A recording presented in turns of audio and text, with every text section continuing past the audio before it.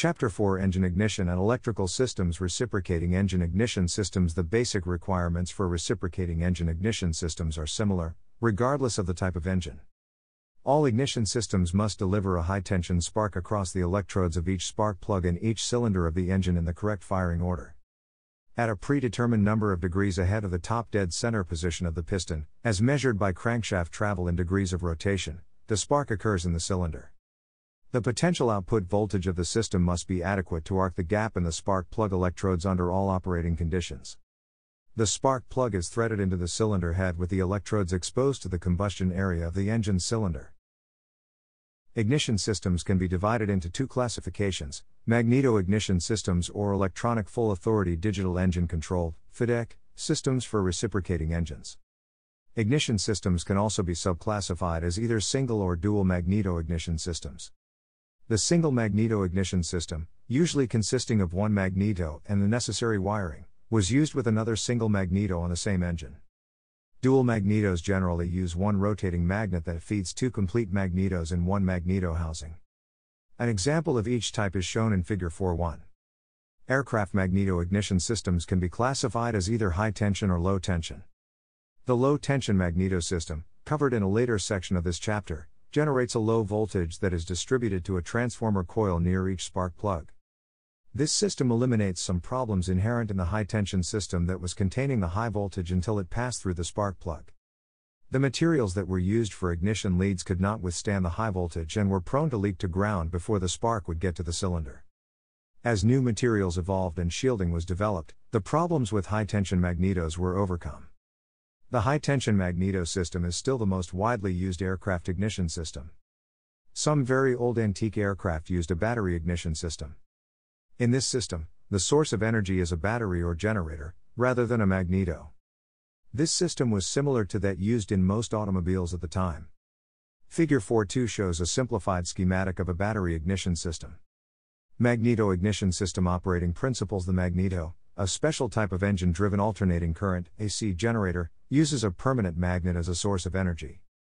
By the use of a permanent magnet, basic magnetic field, coil of wire, concentrated lengths of conductor, and relative movement of the magnetic field, current is generated in the wire. At first, the magneto generates electrical power by the engine rotating the permanent magnet and inducing a current to flow in the coil windings. As current flows through the coil windings, it generates its own magnetic field that surrounds the coil windings. At the correct time, this current flow is stopped and the magnetic field collapses across a second set of windings in the coil and a high voltage is generated. This is the voltage used to arc across the spark plug gap. In both cases, the three basic things needed to generate electrical power are present to develop the high voltage that forces a spark to jump across the spark plug gap in each cylinder.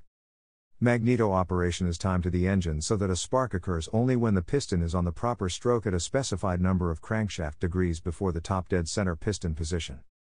High tension magneto system theory of operation The high tension magneto system can be divided, for purposes of discussion, into three distinct circuits magnetic, primary electrical, and secondary electrical circuits. Magnetic circuit The magnetic circuit consists of a permanent multi pole rotating magnet, a soft iron core, and pole shoes. Figure 4.3 The magnet is geared to the aircraft engine and rotates in the gap between two pole shoes to furnish the magnetic lines of force, flux, necessary to produce an electrical voltage. The poles of the magnet are arranged in alternate polarity so that the flux can pass out of the north pole through the coil core and back to the south pole of the magnet. When the magnet is in the position shown in Figure 4.3a, the number of magnetic lines of force through the coil core is maximum because two magnetically opposite poles are perfectly aligned with the pole shoes. This position of the rotating magnet is called the full register position and produces a maximum number of magnetic lines of force, flux flow clockwise through the magnetic circuit and from left to right through the coil core. When the magnet is moved away from the full register position, the amount of flux passing through the coil core begins to decrease. This occurs because the magnet's poles are moving away from the pole shoes, allowing some lines of flux to take a shorter path through the ends of the pole shoes. As the magnet moves farther from the full register position, more lines of flux are short circuited through the pole shoe ends. Finally, at the neutral position 45 degrees from the full register position, all flux lines are short circuited, and no flux flows through the coil core. Figure 4-3b, As the magnet moves from full register to the neutral position, the number of flux lines through the coil core decreases in the same manner as the gradual collapse of flux in the magnetic field of an ordinary electromagnet. The neutral position of the magnet is where one of the poles of the magnet is centered between the pole shoes of the magnetic circuit. As the magnet is moved clockwise from this position, the lines of flux that had been short circuited through the pole shoe ends begin to flow through the coil core again. But this time, the flux lines flow through the coil core in the opposite direction. Figure 4.3c the flux flow reverses as the magnet moves out of the neutral position because the north pole of the rotating permanent magnet is opposite the right pole shoe instead of the left. Figure 4.3a When the magnet is again moved a total of 90 degrees, another full register position is reached with a maximum flux flow in the opposite direction. The 90 degrees of magnet travel is shown in Figure 4.4, where a curve shows how the flux density in the coil core, without a primary coil around the core, changes as the magnet is rotated. Figure 4.4 shows that as the magnet moves from the full register position 0 degrees, flux flow decreases and reaches a zero value as it moves into the neutral position 45 degrees. While the magnet moves through the neutral position, flux flow reverses and begins to increase as indicated by the curve below the horizontal line. At the 90 degrees position, another position of maximum flux is reached. Thus, for one revolution 360 degrees of the four pole magnet, there are four positions of maximum flux, 4 positions of zero flux, and 4 flux reversals. This discussion of the magnetic circuit demonstrates how the coil core is affected by the rotating magnet. It is subjected to an increasing and decreasing magnetic field and a change in polarity each 90 degrees of magnet travel. When a coil of wire as part of the magneto's primary electrical circuit is wound around the coil core, it is also affected by the varying magnetic field. Primary electrical circuit The primary electrical circuit consists of a set of breaker contact points, a condenser, and an insulated coil. Figure 4-5, The coil is made up of a few turns of heavy copper wire. One end is grounded to the coil core and the other end to the ungrounded side of the breaker points. Figure 4-5, The primary circuit is complete only when the ungrounded breaker point contacts the grounded breaker point. The third unit in the circuit, the condenser, capacitor, is wired in parallel with the breaker points. The condenser prevents arcing at the points when the circuit is opened and hastens the collapse of the magnetic field about the primary coil. The primary breaker closes at approximately full register position. When the breaker points are closed, the primary electrical circuit is completed and the rotating magnet induces current flow in the primary circuit. This current flow generates its own magnetic field, which is in such a direction that it opposes any change in the magnetic flux of the permanent magnet circuit. While the induced current is flowing in the primary circuit, it opposes any decrease in the magnetic flux in the core. This is in accordance with Lenz's law that states, an induced current always flows in such a direction that its magnetism opposes the motion or the change that induced it. For a review of Lenz's law, refer to the Aviation Maintenance Technician, General Handbook, FAAH 808330. Thus, the current flowing in the primary circuit holds the flux in the core at a high value in one direction until the rotating magnet has time to rotate through the neutral position to a point a few degrees beyond neutral. This position is called the E-gap position, E stands for efficiency. With the magnetic rotor in E-gap position and the primary coil holding the magnetic field of the magnetic circuit in the opposite polarity, a very high rate of flux change can be obtained by opening the primary breaker points.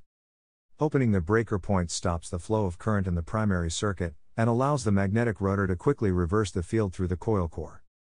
This sudden flux reversal produces a high rate of flux change in the core, that cuts across the secondary coil of the magneto, wound over and insulated from the primary coil, inducing the pulse of high voltage electricity in the secondary needed to fire a spark plug. As the rotor continues to rotate to approximately full register position, the primary breaker points close again and the cycle is repeated to fire the next spark plug in firing order. The sequence of events can now be reviewed in greater detail to explain how the state of extreme magnetic stress occurs. With the breaker points, cam, and condenser connected in the circuit as shown in Figure 4.6, the action that takes place as the magnetic rotor turns is depicted by the graph curve in Figure 4-7. At the top, A of Figure 4-7, the original static flux curve of the magnets is shown. Shown below the static flux curve is the sequence of opening and closing the magneto breaker points. Note that opening and closing the breaker points is timed by the breaker cam. The points close when a maximum amount of flux is passing through the coil core and open at a position after neutral. Since there are four lobes on this particular cam, there are some magnetos with cams that have only two lobes, the breaker points close and open in the same relation to each of the four neutral positions of the rotor magnet. Also, the point opening and point closing intervals are approximately equal. Starting at the maximum flux position marked 0 degrees at the top of figure 4-7, the sequence of events in the following paragraphs occurs. As the magnet rotor is turned toward the neutral position, the amount of flux through the core starts to decrease. Figure 4.7d, this change in flux linkages induces a current in the primary winding. Figure 4.7c, this induced current creates a magnetic field of its own that opposes the change of flux linkages inducing the current. Without current flowing in the primary coil, the flux in the coil core decreases to zero as the magnet rotor turns to neutral and starts to increase in the opposite direction, dotted static flux curve in figure 47d. But, the electromagnetic action of the primary current prevents the flux from changing and temporarily holds the field instead of allowing it to change, resultant flux line in figure 47d. As a result of the holding process, there is a very high stress in the magnetic circuit by the time the magnet rotor has reached the position where the breaker points are about to open. The breaker points, when opened, function with the condenser to interrupt the flow of current in the primary coil, causing an extremely rapid change in flux linkages. The high voltage in the secondary winding discharges across the gap and the spark plug to ignite the fuel/air mixture in the engine cylinder. Each spark actually consists of one peak discharge, after which a series of small oscillations takes place. They continue to occur until the voltage becomes too low to maintain the discharge. Current flows in the secondary winding during the time that it takes for the spark to completely discharge. The energy or stress in the magnetic circuit is completely dissipated by the time the contacts close for the production of the next spark. Breaker assemblies, used in high tension magneto ignition systems, automatically open and close the primary circuit at the proper time in relation to piston position in the cylinder to which an ignition spark is being furnished. The interruption of the primary current flow is accomplished through a pair of breaker contact points made of an alloy that resists pitting and burning. Most breaker points used in aircraft ignition systems are of the pivotless type in which one of the breaker points is movable and the other stationary. Figure 4.8 the movable breaker point attached to the leaf spring is insulated from the magneto housing and is connected to the primary coil. Figure 4.8 The stationary breaker point is grounded to the magneto housing to complete the primary circuit when the points are closed and can be adjusted so that the points can open at the proper time. Another part of the breaker assembly is the cam follower, which is spring loaded against the cam by the metal leaf spring. The cam follower is a micarta block or similar material that rides the cam and moves upward to force the movable breaker contact away from the stationary breaker contact each time a lobe of the cam passes beneath the follower. A felt oiler pad is located on the underside of the metal spring leaf to lubricate and prevent corrosion of the cam. The breaker actuating cam may be directly driven by the magneto rotor shaft or through a gear train from the rotor shaft. Most large radial engines use a compensated cam that is designed to operate with a specific engine, and has one lobe for each cylinder to be fired by the magneto. The cam lobes are machine ground at unequal intervals to compensate for the elliptical path of the articulated connecting rods. This path causes the piston's top dead center position to vary from cylinder to cylinder with regard to crankshaft rotation. A compensated 14 lobe cam, together with a 2, 4, and 8 lobe uncompensated cam, is shown in Figure 4.9. The unequal spacing of the compensated cam lobes, although it provides the same relative piston position for ignition to occur, causes a slight variation of the E gap position of the rotating magnet and thus a slight variation in the high voltage impulses generated by the magneto. Since the spacing between each lobe is tailored to a particular cylinder of a particular engine, compensated cams are marked to show the series of the engine, the location of the master rods, the lobe used for magneto timing, the direction of cam rotation, and the E-gap specification in degrees past neutral of magnet rotation. In addition to these markings, a step is cut across the face of the cam, that, when aligned with scribed marks on the magneto housing, places the rotating magnet in the E-gap position for the timing cylinder. Since the breaker points should begin to open when the rotating magnet moves into the E-gap position, alignment of the step on the cam with marks in the housing provides a quick and easy method of establishing the exact E-gap position to check and adjust the breaker points. Secondary electrical circuit The secondary circuit contains the secondary windings of the coil, distributor rotor, distributor cap, ignition lead, and spark plug. The secondary coil is made up of a winding containing approximately 13,000 turns of fine, insulated wire, one end of which is electrically grounded to the primary coil or to the coil core and the other end connected to the distributor rotor. The primary and secondary coils are encased in a non conducting material. The whole assembly is then fastened to the pole shoes with screws and clamps.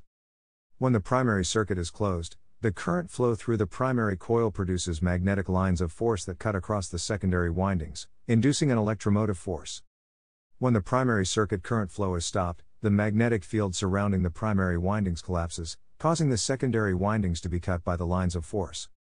The strength of the voltage induced in the secondary windings, when all other factors are constant, is determined by the number of turns of wire.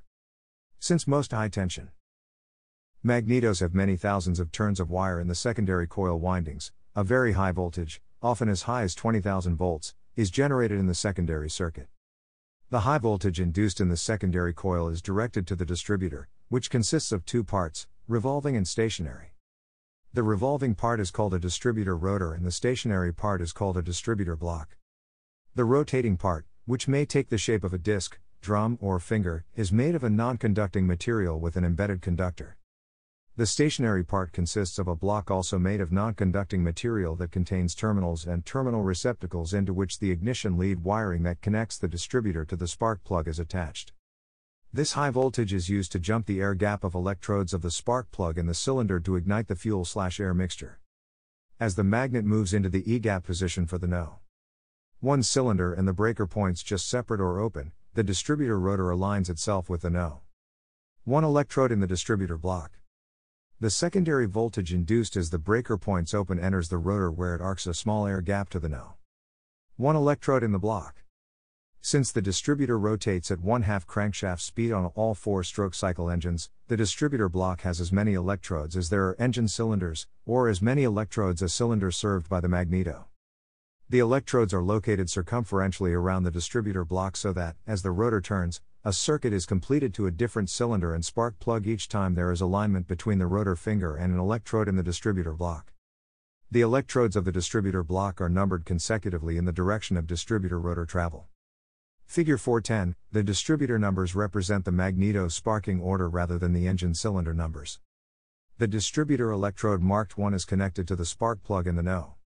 1 cylinder, Distributor electrode Mark II to the second cylinder to be fired, distributor electrode Mark III to the third cylinder to be fired, and so forth. In Figure 410, the distributor rotor finger is aligned with the distributor electrode Mark III, which fires the no. 5 cylinder of a 9 cylinder radial engine. Since the firing order of a 9 cylinder radial engine is 135792468, the third electrode in the magneto sparking order serves the no.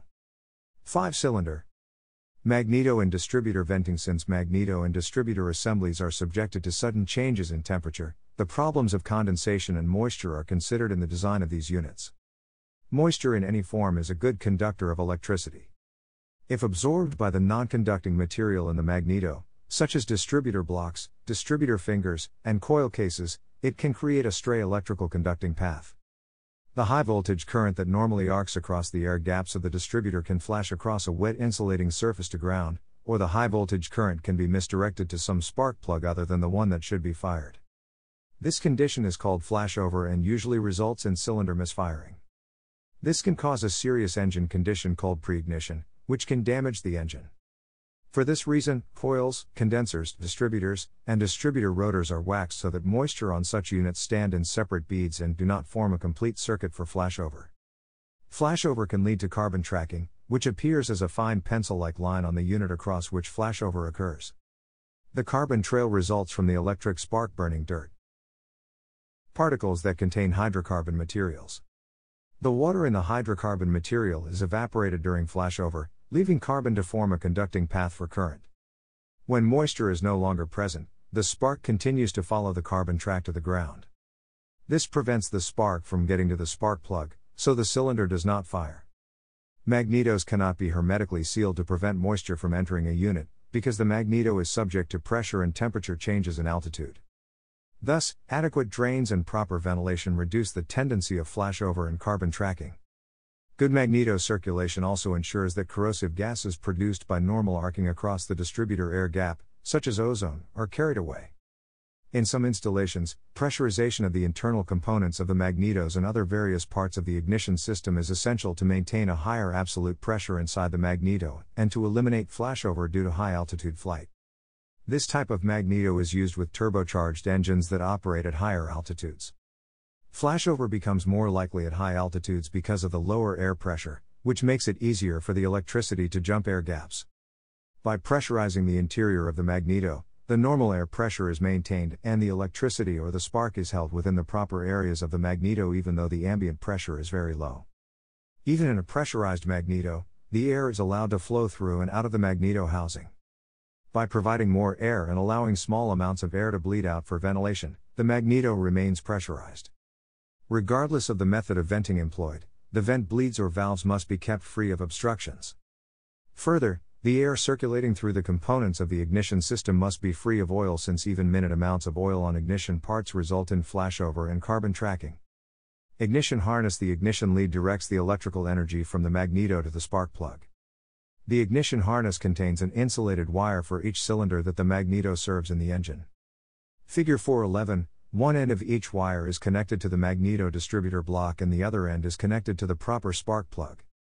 The ignition harness leads serve a dual purpose. It provides the conductor path for the high tension voltage to the spark plug. It also serves as a shield for stray magnetic fields that surround the wires as they momentarily carry high voltage current. By conducting these magnetic lines of force to the ground, the ignition harness cuts down electrical interference with the aircraft radio and other electrically sensitive equipment. A magneto is a high frequency radiation emanating, radio wave, device during its operation. The wave oscillations produced in the magneto are uncontrolled and cover a wide range of frequencies and must be shielded. If the magneto and ignition leads were not shielded, they would form antennas and pick up the random frequencies from the ignition system. The lead shielding is a metal mesh braid that surrounds the entire length of the lead. The lead shielding prevents the radiation of the energy into the surrounding area. Capacitance is the ability to store an electrostatic charge between two conducting plates separated by a dielectric. Lead insulation is called a dielectric, meaning it can store electrical energy as an electrostatic charge. An example of electrostatic energy storage in a dielectric is the static electricity stored in a plastic hair comb. When shielding is placed around the ignition lead, capacitance increases by bringing the two plates closer together. Electrically, the ignition lead acts as a capacitor and has the ability to absorb and store electrical energy. The magneto must produce enough energy to charge the capacitance caused by the ignition lead, and have enough energy left over to fire the plug. Ignition lead capacitance increases the electrical energy required to provide a spark across the plug gap. More magneto primary current is needed to fire the plug with the shielded lead. This capacitance energy is discharged as fire across the plug gap after each firing of the plug. Reversing the polarity during servicing by rotating the plugs to new locations, the plug wear is equalized across the electrodes. The very center of the ignition lead is the high voltage carrier surrounded by a silicone insulator material that is surrounded by metal mesh, or shielding, covered with a thin silicone rubber coating that prevents damage by engine heat, vibration, or weather. A sectional view of the typical ignition lead is shown in Figure 412. Ignition leads must be routed and clamped correctly to avoid hot spots on the exhaust and vibration points as the leads are routed from the magneto to the individual cylinders. Ignition leads are normally of the all-weather type and are hard connected at the magneto distributor and affixed to the spark plug by threads. The shielded ignition lead spark plug terminal is available in all-weather 3 quarters inch diameter and 5 8 inch diameter barrel ignition lead nut. Figure 413, the 5 8 24 plug takes a 3 quarters wrench on the lead nut and the 3 quarters 20 plug takes a 7 eighths wrench on the lead nut. The 3 quarters inch all weather design utilizes a terminal seal that results in greater terminal well insulation. This is recommended because the lead end of the spark plug is completely sealed from moisture. An older radial engine type of ignition harness is a manifold form to fit around the crankcase of the engine with flexible extensions terminating at each spark plug. A typical high tension ignition harness is shown in Figure 414. Many older single row radial engine aircraft ignition systems employ a dual magneto system, in which the right magneto supplies the electric spark for the front plugs in each cylinder, and the left magneto fires the rear plugs. Ignition switches All units in an aircraft ignition system are controlled by an ignition switch. The type of switch used varies with the number of engines on the aircraft, and the type of magnetos used. All switches, however, turn the system off and on in much the same manner. The ignition switch is different in at least one respect from all other types of switches. When the ignition switch is in the off position, a circuit is completed through the switch to ground. In other electrical switches, the off position normally breaks or opens the circuit. The ignition switch has one terminal connected to the primary electrical circuit between the coil and the breaker contact points. The other terminal of the switch is connected to the aircraft ground structure. As shown in Figure 415, two ways to complete the primary circuit are 1. Through the closed breaker points to ground and 2. Through the closed ignition switch to ground. Figure 415 shows that the primary current is not interrupted when the breaker contacts open since there is still a path to ground through the closed, or off, ignition switch. Since primary current is not stopped when the contact points open, there can be no sudden collapse of the primary coil flux field and no high voltage induced in the secondary coil to fire the spark plug. As the magnet rotates past the electrical gap, E gap position, a gradual breakdown of the primary flux field occurs. But that breakdown occurs so slowly that the induced voltage is too low to fire the spark plug. Thus, when the ignition switch is in the off position with the switch closed, the contact points are as completely short circuited as if they were removed from the circuit, and the magneto is inoperative. When the ignition switch is placed in the on position, switch open, the interruption of primary current and the rapid collapse of the primary coil flux field is once again controlled or triggered by the opening of the breaker contact points. Figure 416 when the ignition switch is in the on position, the switch has absolutely no effect on the primary circuit. The ignition slash starter switch, or magneto switch, controls the magnetos on or off and can also connect the starter solenoid for turning the starter. When a starting vibrator, a box that emits pulsating direct current DC is used on the engine, the ignition slash starter switch is used to control the vibrator and retard points. This system is explained in detail later in this chapter. Some ignition starter switches have a push to prime feature during the starting cycle. This system allows additional fuel to spray into the intake port of the cylinder during the starting cycle. Single and dual high tension system magnetos High tension system magnetos used on aircraft engines are either single or dual type magnetos. The single magneto design incorporates the distributor in the housing with the magneto breaker assembly, rotating magnet, and coil.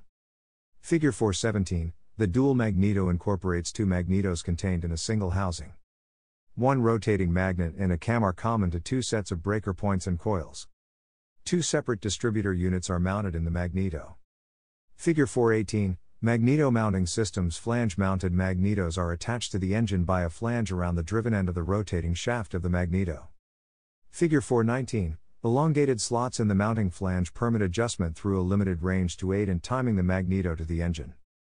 Some magnetos mount by the flange and use clamps on each side to secure the magneto to the engine. This design also allows for timing adjustments. Base mounted magnetos are only used on very old or antique aircraft engines. Low tension magneto system high tension ignition systems have undergone many refinements and improvements in design. This includes new electronic systems that control more than just providing ignition to the cylinders. High tension voltage presence. Certain problems with carrying the high voltage from the magneto internally and externally to the spark plugs. In early years, it was difficult to provide insulators that could contain the high voltage, especially at high altitudes when the air pressures were reduced. Another requirement of high tension systems was that all weather and radio equipped aircraft have ignition wires enclosed in shielding to prevent radio noise due to high voltages. Many aircraft were turbo supercharged and operated at increased high altitudes. The low pressure at these altitudes would allow the high voltage to leak out even more. To meet these problems, low tension ignition systems were developed. Electronically, the low tension system is different from the high tension system. In the low tension system, low voltage is generated in the magneto and flows to the primary winding of a transformer coil located near the spark plug. There, the voltage is increased to high by transformer action and conducted to the spark plug by very short high tension leads. Figure 420 the low tension system virtually eliminates flashover in both the distributor and the harness because the air gaps within the distributor have been eliminated by the use of a brush type distributor, and high voltage is present only in short leads between the transformer and spark plug. Although a certain amount of electrical leakage is characteristic of all ignition systems, it is more pronounced on radio shielded installations because the metal conduit is at ground potential and close to the ignition wires throughout their entire length. In low tension systems, however, this leakage is reduced considerably because the current throughout most of the system is transmitted at a low voltage potential. Although the leads between the transformer coils and the spark plugs of a low tension ignition system are short, they are high tension high voltage conductor, and are subject to the same failures that occur in high tension systems. Low tension ignition systems have limited use in modern aircraft because of the excellent materials and shielding available to construct high tension ignition leads and the added cost of a coil for each spark plug with a low tension system. FADEC system description of FADEC is a solid state digital electronic ignition, an electronic sequential port fuel injection system with only one moving part that consists of the opening and closing of the fuel injector. FADEC continuously monitors and controls ignition, timing, and fuel mixture slash delivery slash injection, and spark ignition as an integrated control system. FADEC monitors engine operating conditions, crankshaft speed, top dead center position, the induction manifold pressure, and the induction air temperature, and then automatically adjusts the fuel to air ratio mixture and ignition timing accordingly for any given power setting to attain optimum engine performance. As a result, engines equipped with FADEC require neither magnetos nor manual mixture control. This microprocessor based system controls ignition timing for engine starting and varies timing with respect to engine speed and manifold pressure. Figure 421 Power Link provides control in both specified operating conditions and fault conditions. The system is designed to prevent adverse changes in power or thrust. In the event of loss of primary aircraft supplied power, the engine controls continue to operate using a secondary power source, SPS. As a control device, the system performs self diagnostics to determine overall system status and conveys this information to the pilot by various indicators on the Health Status Annunciator HSA panel. PowerLink is able to withstand storage temperature extremes and operate at the same capacity as a non FADEC equipped engine in extreme heat, cold, and high humidity environments. Low voltage harness The low voltage harness connects all essential components of the FADEC system. Figure 421 this harness acts as a signal transfer bus interconnecting the electronic control units, ECUs, with aircraft power sources, the ignition switch, speed sensor assembly, SSA, temperature and pressure sensors. The fuel injector coils and all sensors, except the SSA and fuel pressure and manifold pressure sensors, are hardwired to the low voltage harness. This harness transmits sensor inputs to the ECUs through a 50 pin connector. The harness connects to the engine mounted pressure sensors via Cannon plug connectors. The 25J pin connectors connect the harness to the speed sensor signal conditioning unit. The low voltage harness attaches to the cabin harness by a firewall mounted data port through the same cabin harness slash bulkhead connector assembly. The bulkhead connectors also supply the aircraft electrical power required to run the system. The ECU is at the heart of the system, providing both ignition and fuel injection control to operate the engine with the maximum efficiency realizable. Each ECU contains two microprocessors, referred to as a computer, that control two cylinders. Each computer controls its own assigned cylinder and is capable of providing redundant control for the other computer's cylinder. The computer constantly monitors the engine speed and timing pulses developed from the camshaft gear as they are detected by the SSA. Knowing the exact engine speed and the timing sequence of the engine, the computers monitor the manifold air pressure and manifold air temperature to calculate air density and determine the mass air flow into the cylinder during the intake stroke. The computers calculate the percentage of engine power based on engine revolutions per minute, RPM, and manifold air pressure. From this information, the computer can then determine the fuel required for the combustion cycle for either best power or best economy mode of operation. The computer precisely times the injection event, and the duration of the injectors should be on time for the correct fuel to air ratio. Then, the computer sets the spark ignition event and ignition timing, again based on percentage of power calculation. Exhaust gas temperature is measured after the burn to verify that the fuel to air ratio calculations were correct for that combustion event. This process is repeated by each computer for its own assigned cylinder on every combustion slash power cycle. The computers can also vary the amount of fuel to control the fuel to air ratio for each individual cylinder to control both cylinder head temperature, CHT, and exhaust gas temperature, EGT. Electronic Control Unit, ECU, an ECU is assigned to a pair of engine cylinders. Figure 422 The ECUs control the fuel mixture and spark timing for their respective engine cylinders. ECU 1 controls opposing cylinders 1 and 2, ECU 2 controls cylinders 3 and 4, and ECU 3 controls cylinders 5 and 6. Each ECU is divided into upper and lower portions. The lower portion contains an electronic circuit board, while the upper portion houses the ignition coils. Each electronic control board contains two independent microprocessor controllers that serve as control channels. During engine operation, one control channel is assigned to operate a single engine cylinder. Therefore, one ECU can control two engine cylinders, one control channel per cylinder. The control channels are independent, and there are no shared electronic components within one ECU. They also operate on independent and separate power supplies. However, if one control channel fails, the other control channel in the pair within the same ECU is capable of operating both its assigned cylinder and the other opposing engine cylinder as backup control for fuel injection and ignition timing. Each control channel on the ECU monitors the current operating conditions and operates its cylinder to attain engine operation within specified parameters. The following transmit inputs to the control channels across the low voltage harness 1. Speed sensor that monitors engine speed and crank position 2. Fuel pressure sensors 3. Manifold pressure sensors 4. Manifold air temperature, MAT, sensors 5. CHT sensors 6. EGT sensors All critical sensors are dually redundant with one sensor from each type of pair connected to control channels in different ECUs. Synthetic software default values are also used in the unlikely event that both sensors of a redundant pair fail. The control channel continuously monitors changes in engine speed, manifold pressure, manifold temperature, and fuel pressure based on sensor input relative to operating conditions to determine how much fuel to inject into the intake port of the cylinder. Power Link Ignition System The ignition system consists of the high voltage coils atop the ECU, the high voltage harness, and spark plugs. Since there are two spark plugs per cylinder on all engines, a six cylinder engine has 12 leads and 12 spark plugs.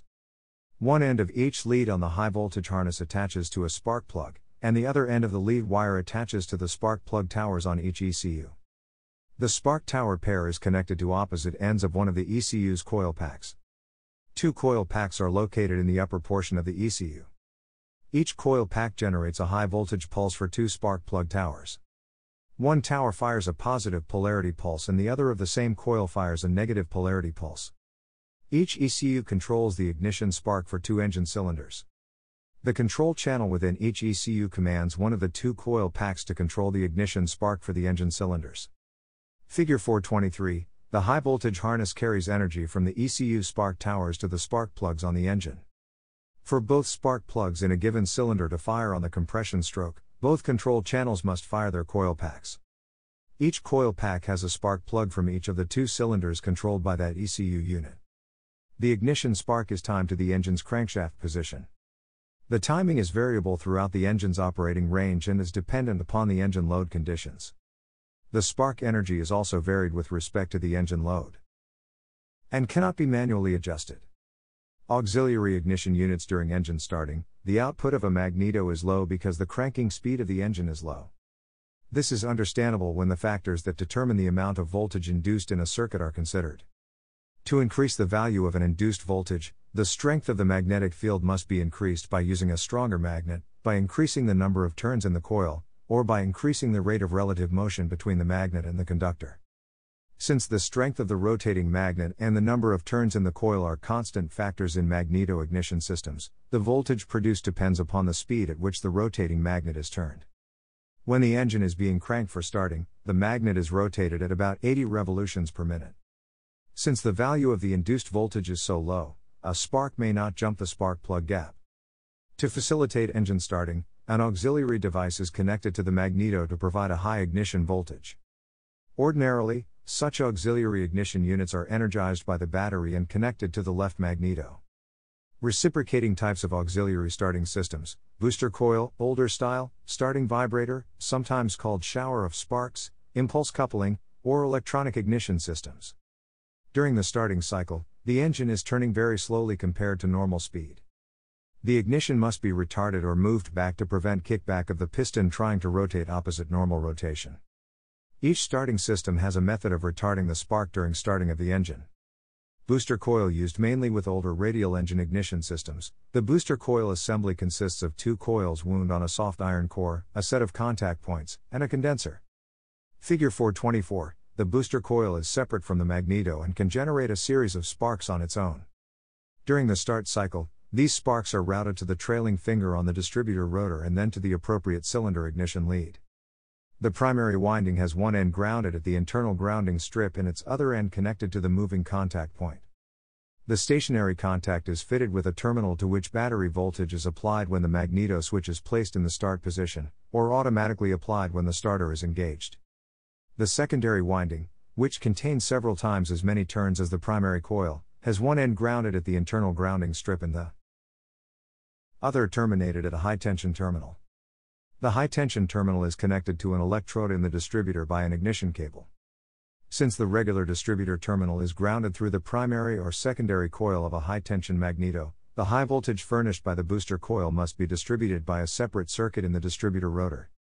This is accomplished by using two electrodes in one distributor rotor. The main electrode, or finger, carries the magneto output voltage, the auxiliary electrode or trailing finger, distributes only the output of the booster coil. The auxiliary electrode is always located so that it trails the main electrode, thus retarding the spark during the starting period. Figure 425 illustrates, in schematic form, the booster coil component shown in Figure 424. In operation, battery voltage is applied to the positive, plus, terminal of the booster coil through the start switch. This causes current to flow through the closed contact points to the primary coil and ground. Figure 425 Current flow through the primary coil sets up a magnetic field about the coil that magnetizes the coil core. As the core is magnetized, it attracts the movable contact point, which is normally held against the stationary contact point by a spring. As the movable contact point is pulled toward the iron core, the primary circuit is broken, collapsing the magnetic field that extended about the coil core. Since the coil core acts as an electromagnet only when current flows in the primary coil, it loses its magnetism as soon as the primary coil circuit is broken. This permits the action of the spring to close the contact points and again complete the primary coil circuit. This remagnetizes the coil core, and again attracts the movable contact point, which again opens the primary coil circuit. This action causes the movable contact point to vibrate rapidly, as long as the start switch is held in the closed, or on position. The result of this action is a continuously expanding and collapsing magnetic field that links the secondary coil of the booster coil.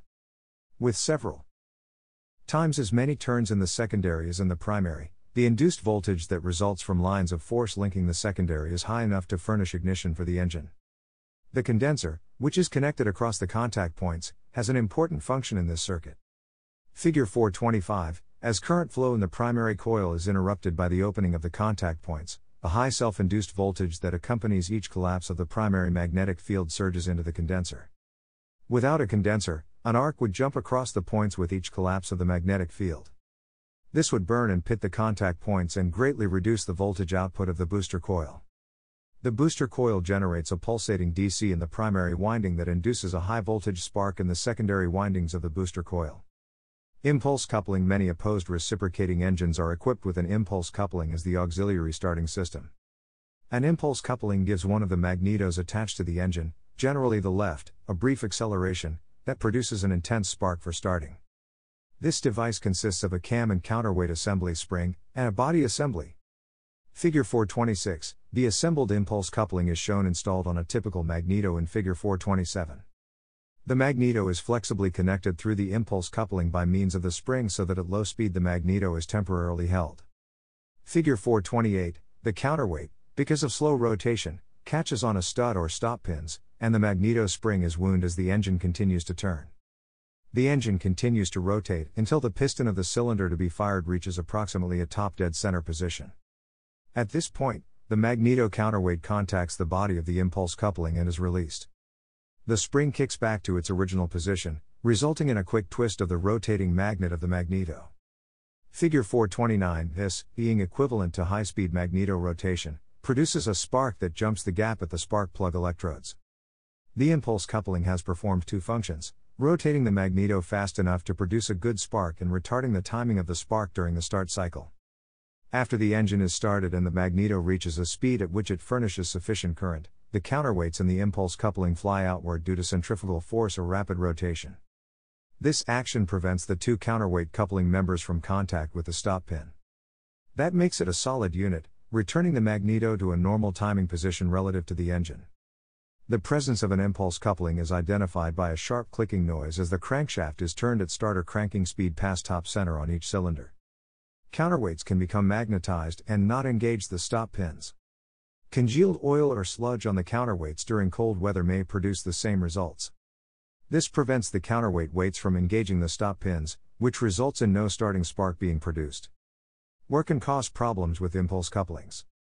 They should be inspected and any maintenance should be performed as set forth by the manufacturer. Another disadvantage of the impulse coupling is that it can produce only one spark for each firing cycle of the cylinder. This is a disadvantage, especially during adverse starting conditions. Even with these disadvantages, the impulse coupling is still in wide use. High tension retard breaker vibrator to provide for more spark power during the starting cycle, the shower of sparks system was developed, which provides several sparks at the spark plug electrodes during starting. The starting vibrator, or shower of sparks, consists essentially of an electrically operated vibrator, a condenser, and a relay. Figure 430 These units are mounted on a base plate and enclosed in a metal case. The starting vibrator, unlike the booster coil, does not produce the high ignition voltage within itself. The function of this starting vibrator is to change the DC of the battery into a pulsating DC and deliver it to the primary coil of the magneto. Closing the ignition switch energizes the starter solenoid and causes the engine to rotate. At the same time, current also flows through the vibrator coil and its contact points. Current flow in the vibrator coil sets up a magnetic field that attracts and opens the vibrator points. When the vibrator points open, current flow in the coil stops, and the magnetic field that attracted the movable vibrator contact point disappears. This allows the vibrator points to close and again permits battery current to flow in the vibrator coil. This completes a cycle of operation. The cycle, however, occurs many times per second, so rapidly that the vibrator points produce an audible buzz. Each time the vibrator points close, current flows to the magneto as a pulsating DC. Since this current is being interrupted many times per second, the resulting magnetic field is building and collapsing across the primary and secondary coils of the magneto many times per second. The rapid successions of separate voltages induced in the secondary coil produces a shower of sparks across the selected spark plug air gap. The retard breaker magneto and starting vibrator system is used as part of the high tension starting system on many types of aircraft. Designed for 4 and 6 cylinder ignition systems, the retard breaker magneto eliminates the need for the impulse coupling in light aircraft. This system uses an additional breaker to obtain retarded sparks for starting. The starting vibrator is also adaptable to many helicopter ignition systems. A schematic diagram of an ignition system using the retard breaker magneto and starting vibrator concept is shown in Figure 430. With the magneto switch in the both position and the starter switch S1 in the on position, starter solenoid L3 and coil L1 are energized, closing relay contacts R4, R1, R2, and R3. R3 connects the right magneto to ground, keeping it inoperative during starting operation.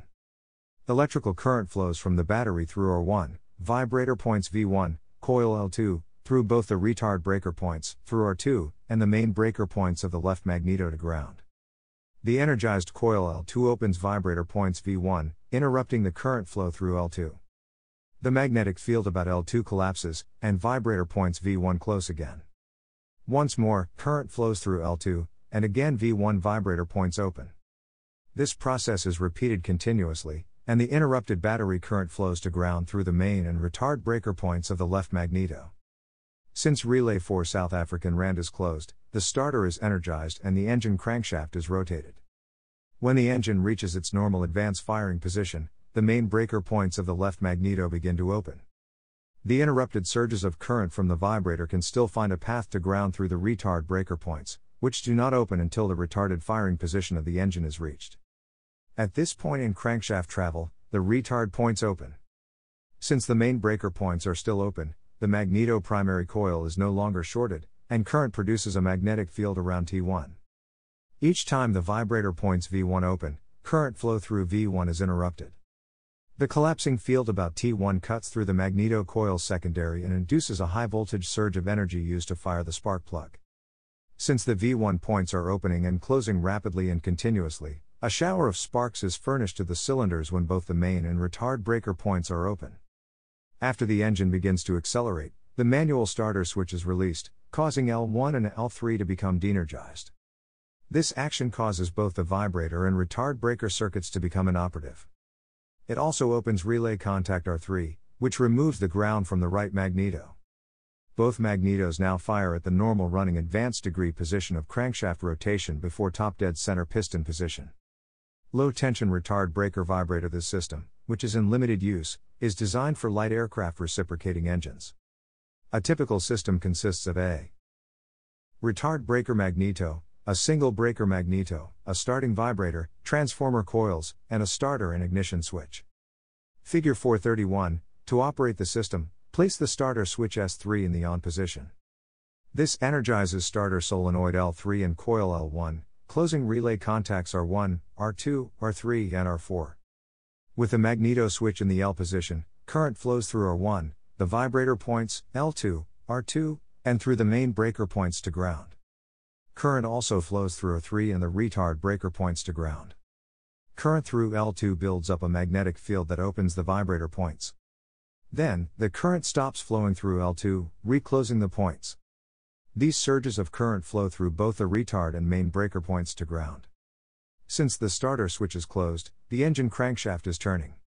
When it has turned to the normal advance or running ignition position, the main breaker points of the magneto open. However, current still flows to ground through the closed retard breaker points. As the engine continues to turn, the retard ignition position is reached and the retard breaker points open. Since the main breaker points are still open, current must flow to ground through coil L4, producing a magnetic field around the coil L4. As the engine continues to turn, the vibrator breaker points open, collapsing the L4 magnetic field through T1 primary, inducing a high voltage in the secondary of T1 to fire the spark plug. When the engine fires, the starter switch is released, de-energizing L1 and L3. This opens the vibrator circuit and retard breaker point circuit. The ignition switch is then turned to the both position, permitting the right magneto to operate in time with the left magneto. Spark plugs The function of the spark plug in an ignition system is to conduct a short impulse of high voltage current through the wall of the combustion chamber. Inside the combustion chamber, it provides an air gap across which the impulse can produce an electric spark to ignite the fuel slash air charge. While the aircraft spark plug is simple in construction and operation, it can be the cause of malfunctions in aircraft engines. Despite this fact, Spark plugs provide a great deal of trouble free operation when properly maintained, and when correct engine operating procedures are practiced. Spark plugs operate at extreme temperatures, electrical pressures, and very high cylinder pressures. A cylinder of an engine operating at 2100 revolutions per minute must produce approximately 17 separate and distinct high voltage sparks that bridge the air gap of a single spark plug each second. This would appear as a continuous spark across the spark plug electrodes at temperatures of over 3000 degrees Fahrenheit. At the same time, the spark plug is subjected to gas pressures as high as 2000 pounds per inch 2 psi, and electrical pressure as high as 20,000 volts. Given the extremes that spark plugs must operate under, and the fact that the engine loses power if one spark does not occur correctly, proper function of a spark plug in the operation of the engine is imperative. The three main components of a spark plug are the electrode, insulator, and outer shell. Figure 432 The outer shell, threaded to fit into the cylinder, is usually made of finely machined steel and is often plated to prevent corrosion from engine gases and possible thread seizure. Close tolerance screw threads and a copper gasket prevent cylinder gas pressure from escaping around the plug. Pressure that might escape through the plug is retained by inner seals between the outer metal shell and the insulator, and between the insulator and the center electrode assembly. The other end is threaded to receive the ignition lead from the magneto. All weather plugs form a seal between the lead and the plug that is waterproof to prevent moisture from entering this connection. The insulator provides a protective core around the electrode. In addition to affording electrical insulation, the ceramic insulator core also transfers heat from the ceramic tip, or nose, to the cylinder. The insulator is made from aluminum oxide ceramic having excellent dielectric strength, high mechanical strength, and thermal conductivity. The types of spark plugs used in different engines vary in respect to heat range, reach, massive electrode, fine wire electrode, iridium slash platinum, or other characteristics of the installation requirements for different engines. The electrodes can be of several designs from massive electrodes or nickel base alloy to fine wire electrodes. Figure 432 and 433 The massive electrode material has a lower melting point and is more susceptible to corrosion. The main differences include cost and length of service. Fine wire iridium and platinum electrodes have a very high melting point and are considered precious metals. Therefore, the cost of this type of spark plug is higher, but they have a longer service life with increased performance. Fine wire spark plugs are more effective than massive electrode plugs because the size shields its own spark from some of the fuel air mixture.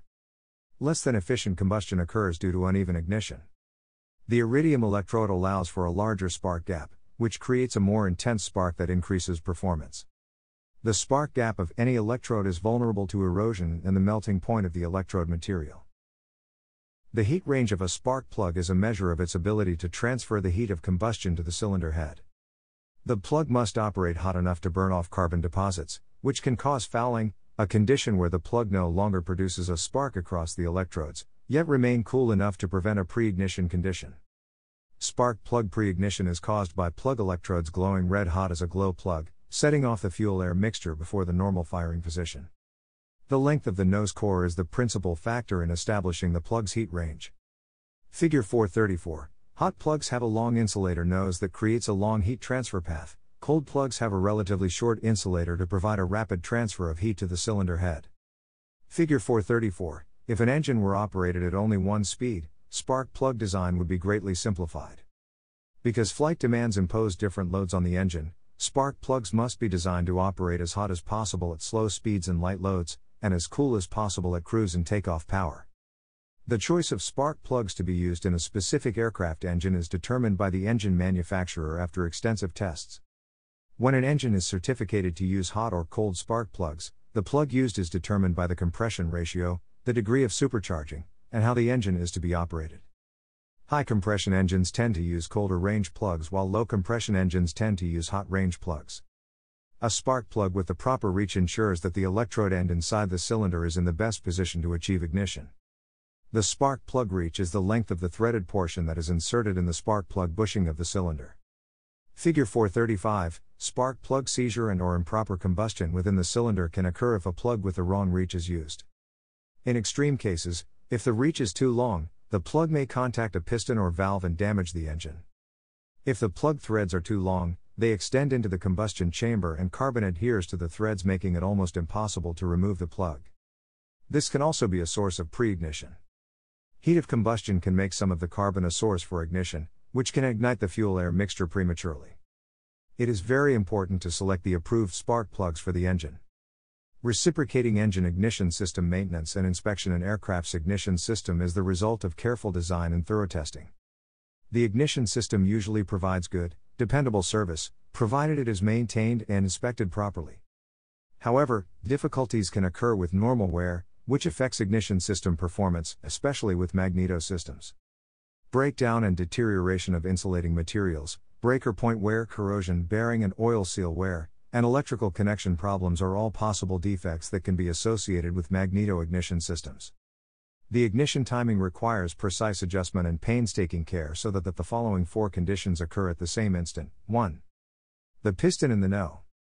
One cylinder must be in a position a prescribed number of degrees before top dead center on the compression stroke.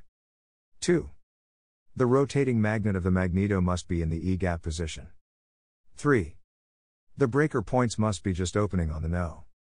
1 cam lobe. 4. The distributor finger must be aligned with the electrode serving the no. 1 cylinder. If one of these conditions is out of synchronization with any of the others, the ignition system is out of time. If the spark is out of time, it is not delivered to the cylinder at the correct time and engine performance decreases. When ignition in the cylinder occurs before the optimum crankshaft position is reached, the timing is said to be early.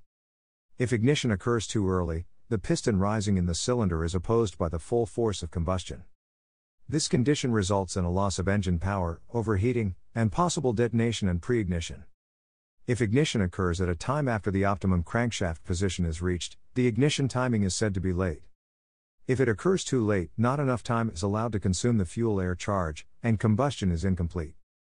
As a result, the engine loses power and requires a greater throttle opening to carry a given propeller load. Moisture forming on different parts of the ignition system causes more common irregularities. Moisture can enter ignition system units through cracks or loose covers, or it can result from condensation. Breathing, a situation that occurs during the readjustment of the system from low to high atmospheric pressure, can result in drawing in moisture laden air. Ordinarily, the heat of the engine is sufficient to evaporate this moisture, but occasionally the moist air condenses as the engine cools. The result is an appreciable moisture accumulation which causes the insulation materials to lose electrical resistance. A slight amount of moisture contamination may cause reduction in magneto output by short circuiting to ground a part of the high voltage current intended for the spark plug. If the moisture accumulation is appreciable, the entire magneto output may be dissipated to ground by way of flashover and carbon tracking. Moisture accumulation during flight is extremely rare because the high operating temperature of the system is effective in preventing condensation. Difficulties from moisture accumulation are probably more evident during starting and ground operation. Spark plugs are often diagnosed as being faulty when the real malfunction exists in a different system. Malfunctioning of the carburetor, poor fuel distribution, too much valve overlap, leaking primer system, or poor idle speed and mixture settings show symptoms that are the same as those for faulty ignition. Unfortunately, many of these conditions can be temporarily improved by a spark plug change, but the trouble recurs in a short time because the real cause of the malfunction has not been eliminated. A thorough understanding of the various engine systems, along with meticulous inspection and good maintenance methods, can substantially reduce such errors. Magneto ignition timing devices built in engine timing reference marks. Most reciprocating engines have timing reference marks built into the engine. The timing reference marks vary by manufacturer. Figure 436 When the starter gear hub is installed correctly, the timing marks are marked on it that line up with the mark on the starter. On an engine that has no starter gear hub, the timing mark is normally on the propeller flange edge. Figure 437, the top center, TC, mark stamped on the edge aligns with the crankcase split line below the crankshaft when the no. One piston is at top dead center. Other flange marks indicate degrees before top center. Some engines have degree markings on the propeller reduction drive gear. To time these engines, the plug provided on the exterior of the reduction gear housing must be removed to view the timing marks. On other engines, the timing marks are on a crankshaft flange and can be viewed by removing a plug from the crankcase. In every case, the engine manufacturer's instructions give the location of built in timing reference marks. In using built in timing marks to position the crankshaft, be sure to sight straight across the stationary pointer or mark on the nose section, the propeller shaft, crankshaft flange, or bell gear. Figure 438 Sighting at an angle results in an error in positioning the crankshaft. Normally, the no. One cylinder is used to time or check the timing of the magnetos. When installing magnetos, the timing marks must be lined up in the no. One cylinder must be on the compression stroke. The amount of gear backlashing in any system of gears varies between installations because there is clearance between the gear teeth. Always take timing when reading, or stop movement of the engine for timing setup, in the direction of rotation. Another unfavorable aspect in the use of timing marks on the reduction gear is the small error that exists when sighting down the reference mark to the timing mark inside the housing on the reduction gear. This can occur because there is depth between the two reference marks.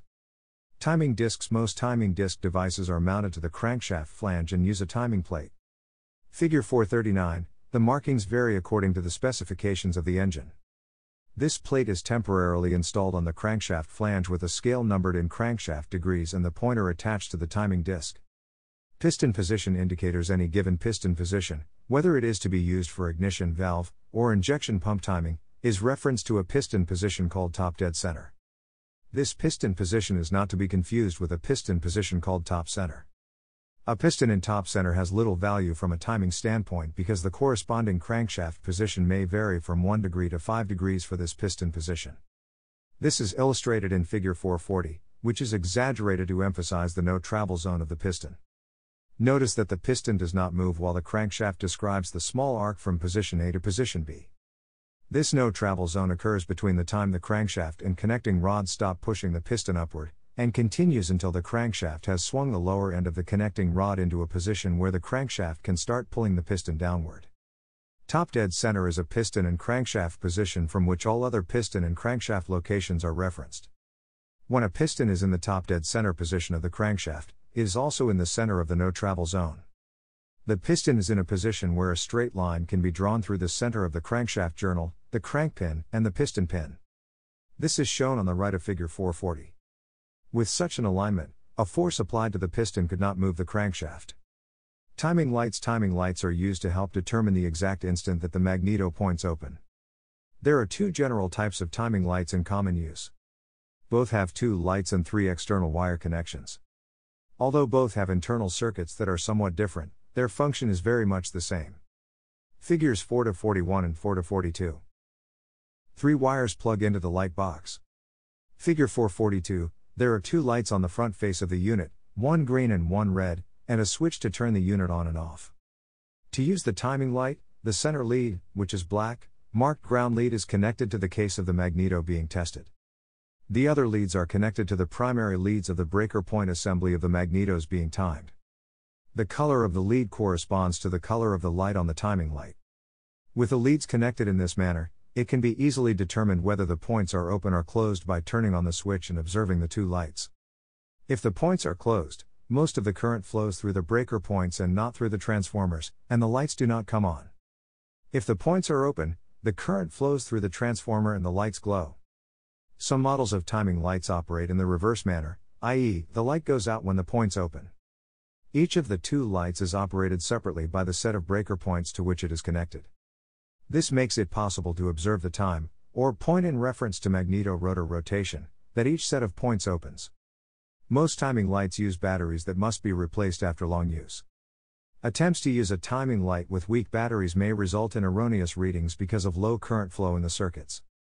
Checking the internal timing of a magneto when replacing or preparing a magneto for installation, the first concern is with the internal timing of the magneto. For each magneto model, the manufacturer determines how many degrees beyond the neutral position a pole of the rotor magnet should be to obtain the strongest spark at the instant of breaker point separation. This angular displacement from the neutral position, known as the E gap angle, varies with different magneto models. On one model, a step is cut on the end of the breaker cam to check internal timing of the magneto. When a straight edge is laid along this step and it coincides with the timing marks on the rim of the breaker housing, the magneto rotor is then in the E gap position, and the breaker contact points should just begin to open. Another method for checking E gap is to align a timing mark with a pointed chamfered tooth. Figure 443 the breaker points should be just starting to open when these marks line up. In a third method, the E gap is correct when a timing pin is in place and red marks visible through a vent hole in the side of the magneto case are aligned. Figure 444 The contact points should be just opening when the rotor is in the position just described.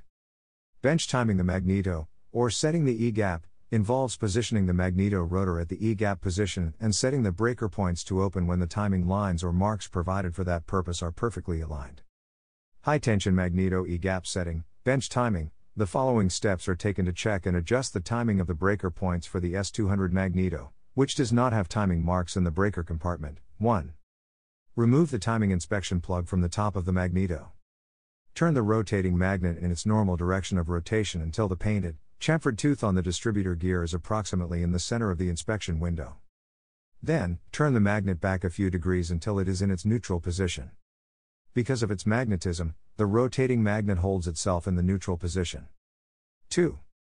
Install the timing kit and place the pointer in the zero position. Figure 445, 3. Connect a suitable timing light across the main breaker points and turn the magnet in its normal direction of rotation 10 degrees as indicated by the pointer. This is the E gap position. The main breaker points should be adjusted to open at this point. 4. Turn the rotating magnet until the cam follower is at the high point on the cam lobe, and measure the clearance between the breaker points. This clearance must be 0.018 inch plus or minus 0.006 inch, 0.46 mm, um, plus or minus 0.15 mm. If the breaker point clearance is not within these limits, the points must be adjusted for correct setting. It is then necessary to recheck and readjust the timing for breaker opening. If the breaker points cannot be adjusted to open at the correct time, they should be replaced. Timing the high tension magneto to the engine when replacing magnetos on aircraft engines, two factors must be considered. 1.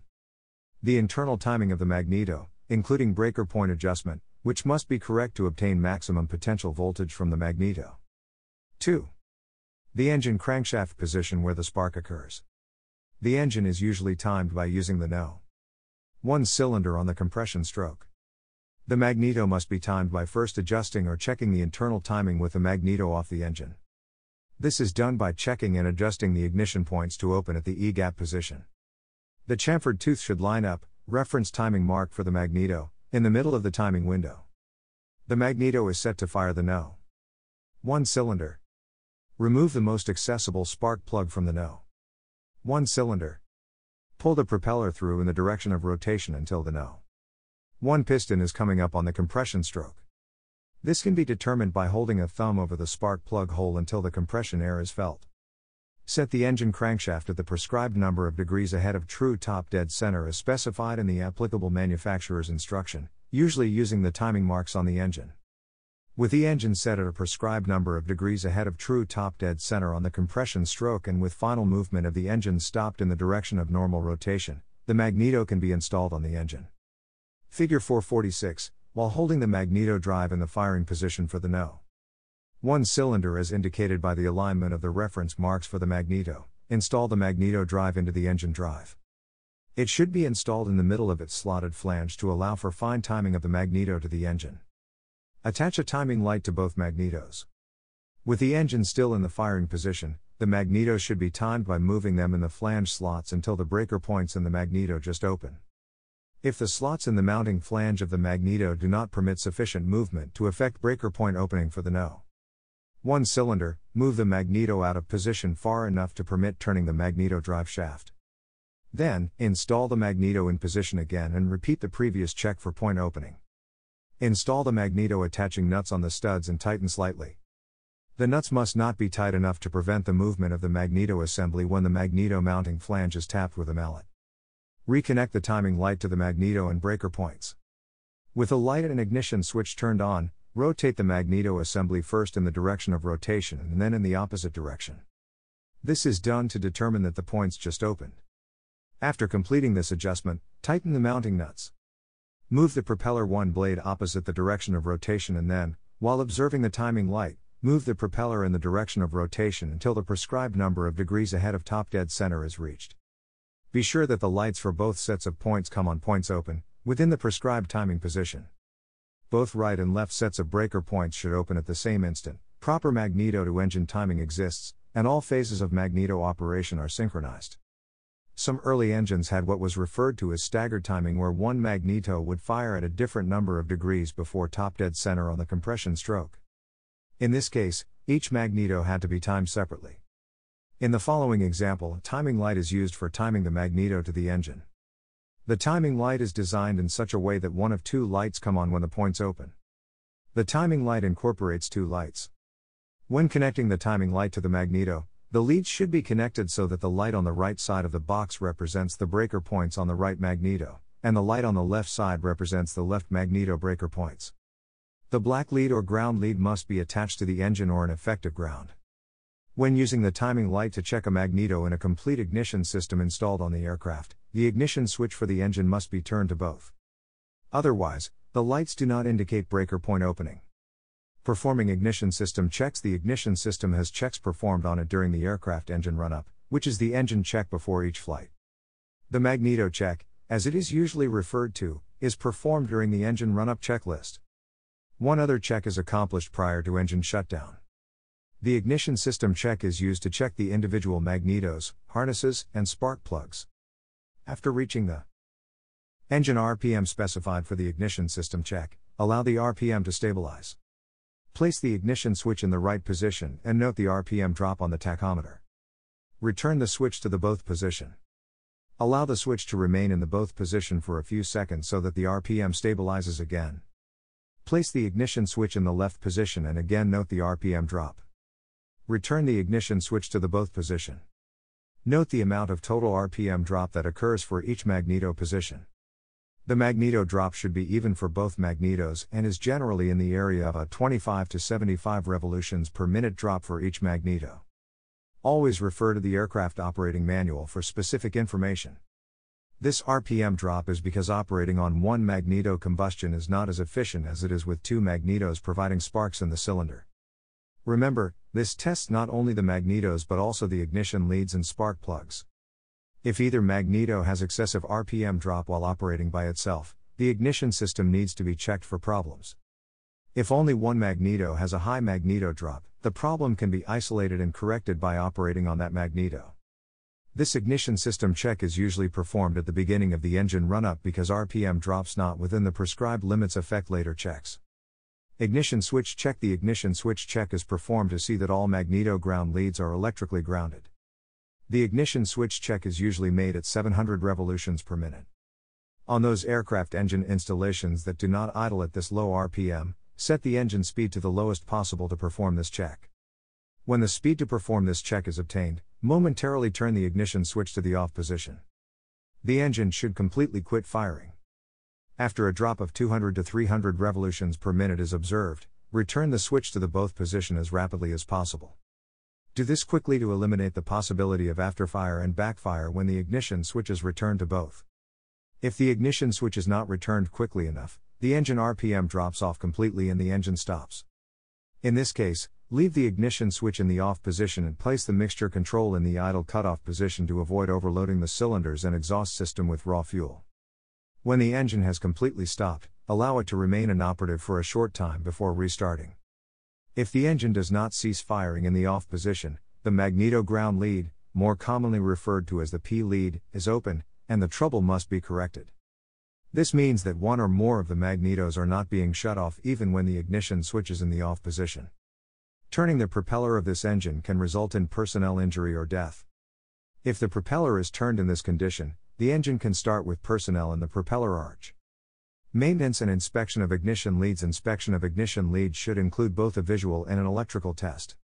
During the visual test, the lead cover should be inspected for cracks or other damage, abrasions, mutilated braid, or other physical damage. Inspect leads for overheating if routed close to exhaust stacks. Disconnect the harness coupling nuts from the top of the spark plugs and remove the leads from the spark plug lead well. Inspect the contact springs and compression springs for any damage or distortion and the sleeves for cracks or carbon tracking. The coupling nut that connects to the spark plug should be inspected for damaged threads or other defects. Each lead should be checked for continuity using a high tension lead tester by connecting the black lead to the contact spring and the red lead to the eyelet of the same lead in the cover. The continuity lamp on the tester should illuminate when tested. The insulation resistance test of each lead is accomplished using the high tension lead tester by attaching the red, or high voltage, lead to the spring of the harness lead. Then, attach the black lead to the ferrule of the same lead. Depress the press to test push button switch on the lead tester. Observe that the indictor lamp flashes and gap fires simultaneously as long as the press to test switch is held in the depressed position. If the indicator lamp flashes and the gap fails to fire, the lead under test is defective and must be replaced. The indicator lamp flashes to show that a high voltage impulse was sent out. If it fails to pass through the tester, then the electrical pulse leaked through the wire showing it to be defective. When defective leads are revealed by an ignition harness test, continue the test to determine whether the leads or distributor block are defective. If the difficulty is in an individual ignition lead, determine whether the electrical leak is at the spark plug elbow or elsewhere. Remove the elbow, pull the ignition lead out of the manifold a slight amount, and repeat the harness test on the defective lead. If this stops the leakage, cut away the defective portion of the lead and reinstall the elbow assembly, integral seal, and terminal, sometimes referred to as cigarette. Figure 447 If the lead is too short to repair in the manner described, or the electrical leak is inside the harness, replace the defective lead. Single ignition lead replacement procedures are as follows 1. Disassemble the magneto or distributor so that the distributor block is accessible. 2. Loosen the piercing screw in the distributor block for the lead to be replaced, and remove the lead from the distributor block. 3. Remove approximately 1 inch of insulation from the distributor block end of the defective lead and approximately 1 inch of insulation from the end of the replacement cable. Splice this end to the end of the lead to be replaced and solder the splice. 4. Remove the elbow adapter from the spark plug end of the defective lead, then pull the old lead out and put the new lead into the harness. While pulling the leads through the harness, have someone push the replacement lead into the ignition manifold at the distributor end to reduce the force required to pull the lead through the ignition manifold. 5. When the replacement lead has been pulled completely through the manifold, force the ignition lead up into the manifold from the distributor block end to provide extra length for future repairs, which may be necessary because of chafing at the spark plug elbow. 6. Remove approximately 3 8 inch of insulation from the distributor block end.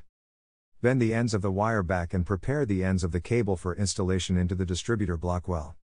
Insert the lead in the distributor and tighten the piercing screw. 7. Remove approximately 1 quarter inch of insulation from the spark plug end of the lead and install the elbow, integral seal, and cigarette. Figure 447, 8.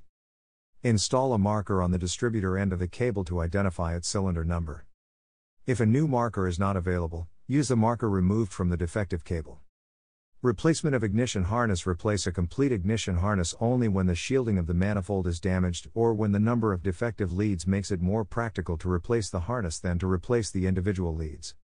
Replace a cast filled harness only when leakage in the cast filled portion is indicated. Before replacing any harness to correct engine malfunctioning, make extensive ignition harness tests.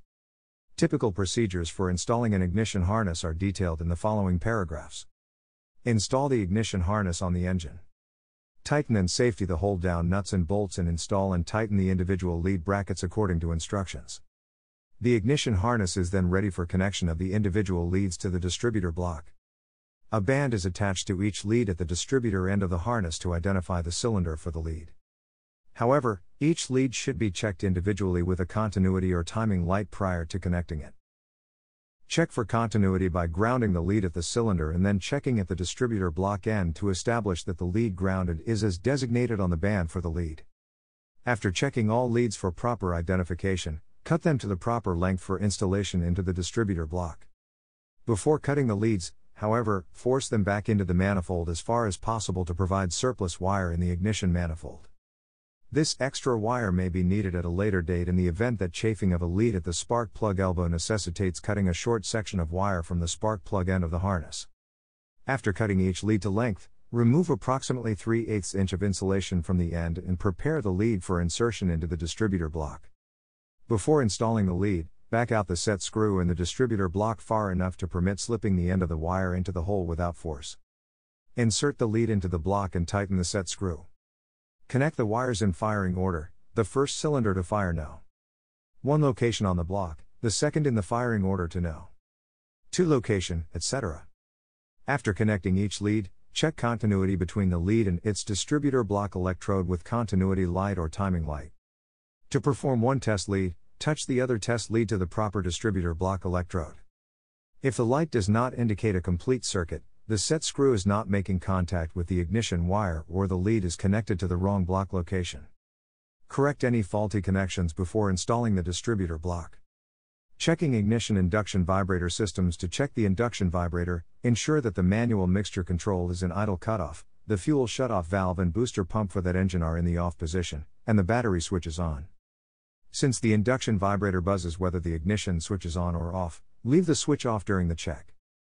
If the engine is equipped with an inertia or combination starter, make the check by closing the engage mesh switch. If the engine is equipped with a direct cranking starter, see that the propeller is clear and close the start switch.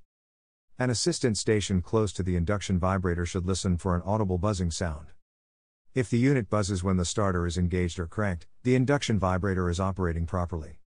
Spark plug inspection and maintenance spark plug operation can often be a major source of engine malfunctions because of lead, oil, graphite, carbon fouling, and spark plug gap erosion. Most of these failures, which usually accompany normal spark plug operation, can be minimized by good operational and maintenance practices. A spark plug is considered fouled if it has stopped allowing the spark to bridge the gap either completely or intermittently. Carbon fouling of spark plugs Carbon fouling from fuel is associated with mixtures that are too rich to burn or mixtures that are so lean they cause intermittent firing. Figure 448 Each time a spark plug does not fire, raw fuel and oil collect on the non firing electrodes and nose insulator. These difficulties are almost invariably associated with an improper idle mixture adjustment, a leaking primer, or carburetor malfunctions that cause too rich a mixture in the idle range. A rich fuel air mixture is detected by soot or black smoke coming from the exhaust and by an increase in RPM when the idling fuel air mixture is leaned to best power. The soot that forms as a result of overly rich idle fuel air mixtures settles on the inside of the combustion chamber because the heat of the engine and the turbulence in the combustion chamber are slight. At higher engine speeds and powers, however, the soot is swept out and does not condense out of the charge in the combustion chamber. Oil fouling of spark plugs Even though the idling fuel air mixture is correct, there is a tendency for oil to be drawn into the cylinder past the piston rings, valve guides, and impeller shaft oil seal rings.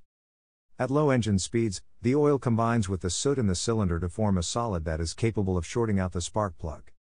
Spark plugs that are wet or covered with lubricating oil are usually grounded out during the engine start.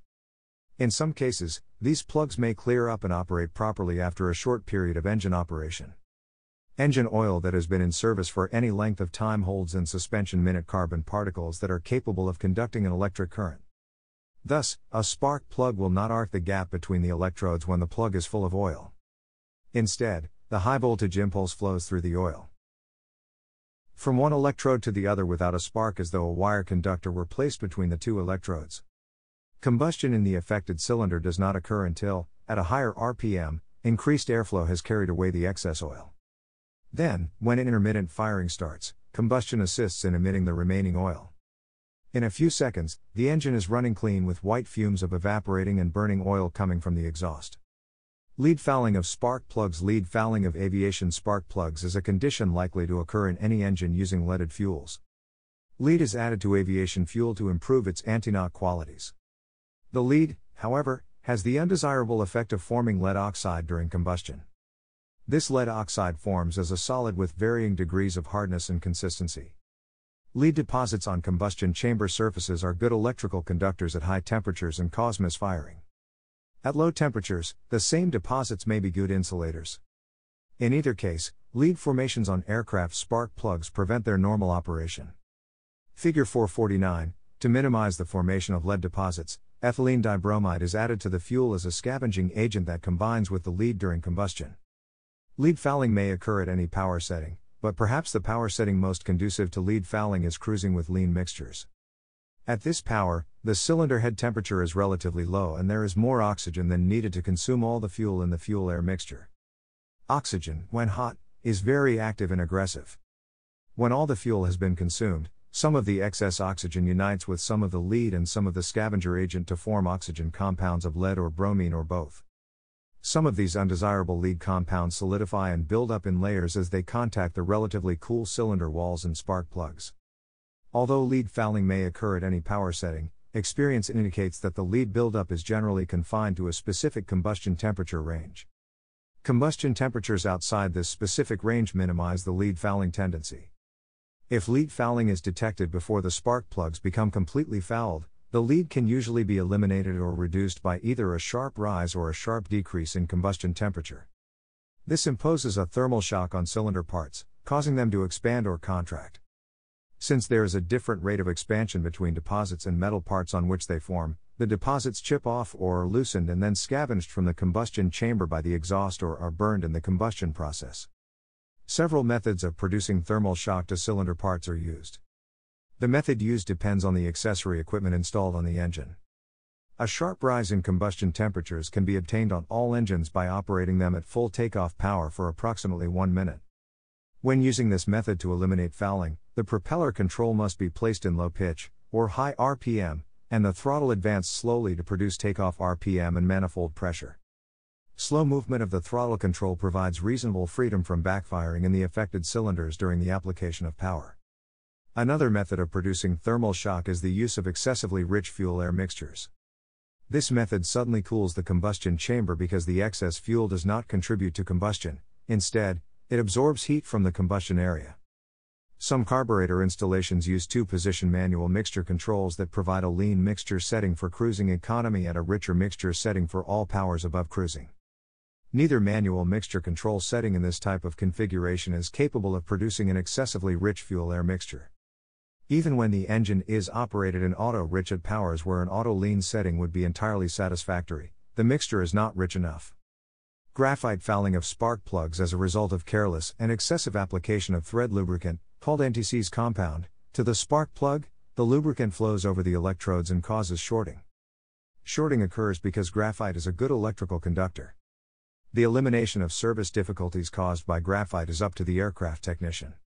Use care when Applying the lubricant to make certain that smeared fingers, shop towels, or brushes do not contact the electrodes or any part of the ignition system except the spark plug threads. Never apply to the first set of threads. Gap erosion of spark plugs Erosion of the electrodes takes place in all aircraft spark plugs as the spark jumps the air gap between the electrodes. Figure 450 The spark carries with it a portion of the electrode, part of which is deposited on the other electrode. The remainder is blown off in the combustion chamber. As the air gap is enlarged by erosion, the resistance that the spark must overcome in jumping the air gap also increases. This means that the magneto must produce a higher voltage to overcome the higher resistance. With higher voltages in the ignition system, a greater tendency exists for the spark to discharge at some weak insulation point in the ignition system. Since the resistance of an air gap also increases as the pressure in the engine cylinder increases, a double danger exists at takeoff and during sudden acceleration with enlarged air gaps. Insulation breakdown, premature flashover, and carbon tracking result in misfiring of the spark plug and go hand in hand with excessive spark plug gap. Wide gap settings also raise the coming in speed of a magneto and therefore cause hard starting. Spark plug manufacturers have partially overcome the problem of gap erosion by using a hermetically sealed resistor in the center electrode of spark plugs. This added resistance in the high tension circuit reduces the peak current at the instant of firing. This reduced current flow helps prevent metal disintegration in the electrodes. Also, due to the high erosion rate of steel or any of its known alloys, Spark plug manufacturers are using tungsten or an alloy of nickel for their massive electrode plugs and iridium slash platinum plating for their fine wire electrode plugs. Spark plug removal Spark plugs should be removed for inspection and servicing at the intervals recommended by the manufacturer. Since the rate of gap erosion varies with different operating conditions, engine models, and type of spark plug, engine malfunction traceable to faulty spark plugs may occur before the regular servicing interval is reached. Normally, in such cases, only the faulty plugs are replaced. Since spark plugs can be easily damaged, careful handling of the used and replacement plugs during installation and removal of spark plugs from an engine cannot be overemphasized. To prevent damage, spark plugs should always be handled individually and new and reconditioned plugs should be stored in separate cartons. A common method of storage is illustrated in Figure 451. This is a drilled tray, which prevents the plugs from bumping against one another and damaging the fragile insulators and threads. Additionally, the tray helps identify where the spark plug came from in its proper rotation. If a plug is dropped on the floor or other hard surface, it should not be installed in an engine, since the shock of impact usually causes small, invisible cracks in the insulators. A drop spark plug should be discarded. Before a spark plug can be removed, the ignition harness lead must be disconnected. Using the special spark plug coupling elbow wrench, loosen and remove the spark plug to elbow coupling nut from the spark plug. Take care to pull the lead straight out and in line with the centerline of the plug barrel. If a side load is applied, damage to the barrel insulator and the ceramic lead terminal may result. Figure 452 If the lead cannot be removed easily in this manner, the neoprene collar may be stuck to the shielding barrel. Break loose the neoprene collar by twisting the collar as though it were a nut being unscrewed from a bolt. After the lead has been disconnected, select the proper size deep socket for spark plug removal. Apply steady pressure with one hand on the hinge handle, holding the socket in alignment with the other hand. Failure to hold the socket in correct alignment causes the socket to tilt to one side and damage the spark plug. Figure 453 In the course of engine operation, carbon and other products of combustion are deposited across the spark plug and cylinder, and some carbon may even penetrate the lower threads of the shell. As a result, a high torque is generally required to break the spark plug loose. This factor imposes a shearing load on the shell section of the plug. After removing the plugs, they should be placed in a spark plug tray. Figure 451 Spark plug reconditioning service spark plugs. The threads on the shielding barrel and on the shell that screws into the cylinder should be inspected for damaged or nicked threads. Inspect the lead shielding barrel for corrosion, nicks, and cracks. The firing end should be checked for insulator cracks, chips, and excessive electrode wear. The shell hex or wrench hex should be checked to see if it is rounded off or mutilated. If the spark plug passes the visual check, then it should be degreased using petroleum solvent. Take care to keep solvent out of the shielding barrel. Never soak the plugs in solvent. After drying the firing end of the plugs, remove the lead compound deposits using a vibrator cleaner. Figure 454 The firing end can now be cleaned by using an abrasive blaster. This is usually done using a spark plug cleaner tester. Figure 455 As the firing end is subjected to the abrasive blast, the plug should be rotated so all the area of the firing end is cleaned. After the abrasive blast, the firing end gets a thorough air blast to remove the abrasive material. The shielding barrel insulators may be cleaned with a cotton cloth or felt swab saturated with solvent, wood alcohol, or other approved cleaner. The firing end should be inspected using a light and a magnifying glass. If the plug passes the firing and visual and cleaning checks, then the spark gap should be set using a round thickness gauge. The spark plug should be tested by using a tester as shown in figure 455, which passes a high voltage through the spark plug and fire the gap. As this test takes place, the firing end of the plug is subjected to air pressure to simulate the pressure in the engine cylinder. If the firing pattern is good, the plug should be returned to its holder ready for installation in the engine. Inspection prior to installation before installing new or reconditioned spark plugs in the engine cylinders. Clean the spark plug bushings or helicoil inserts.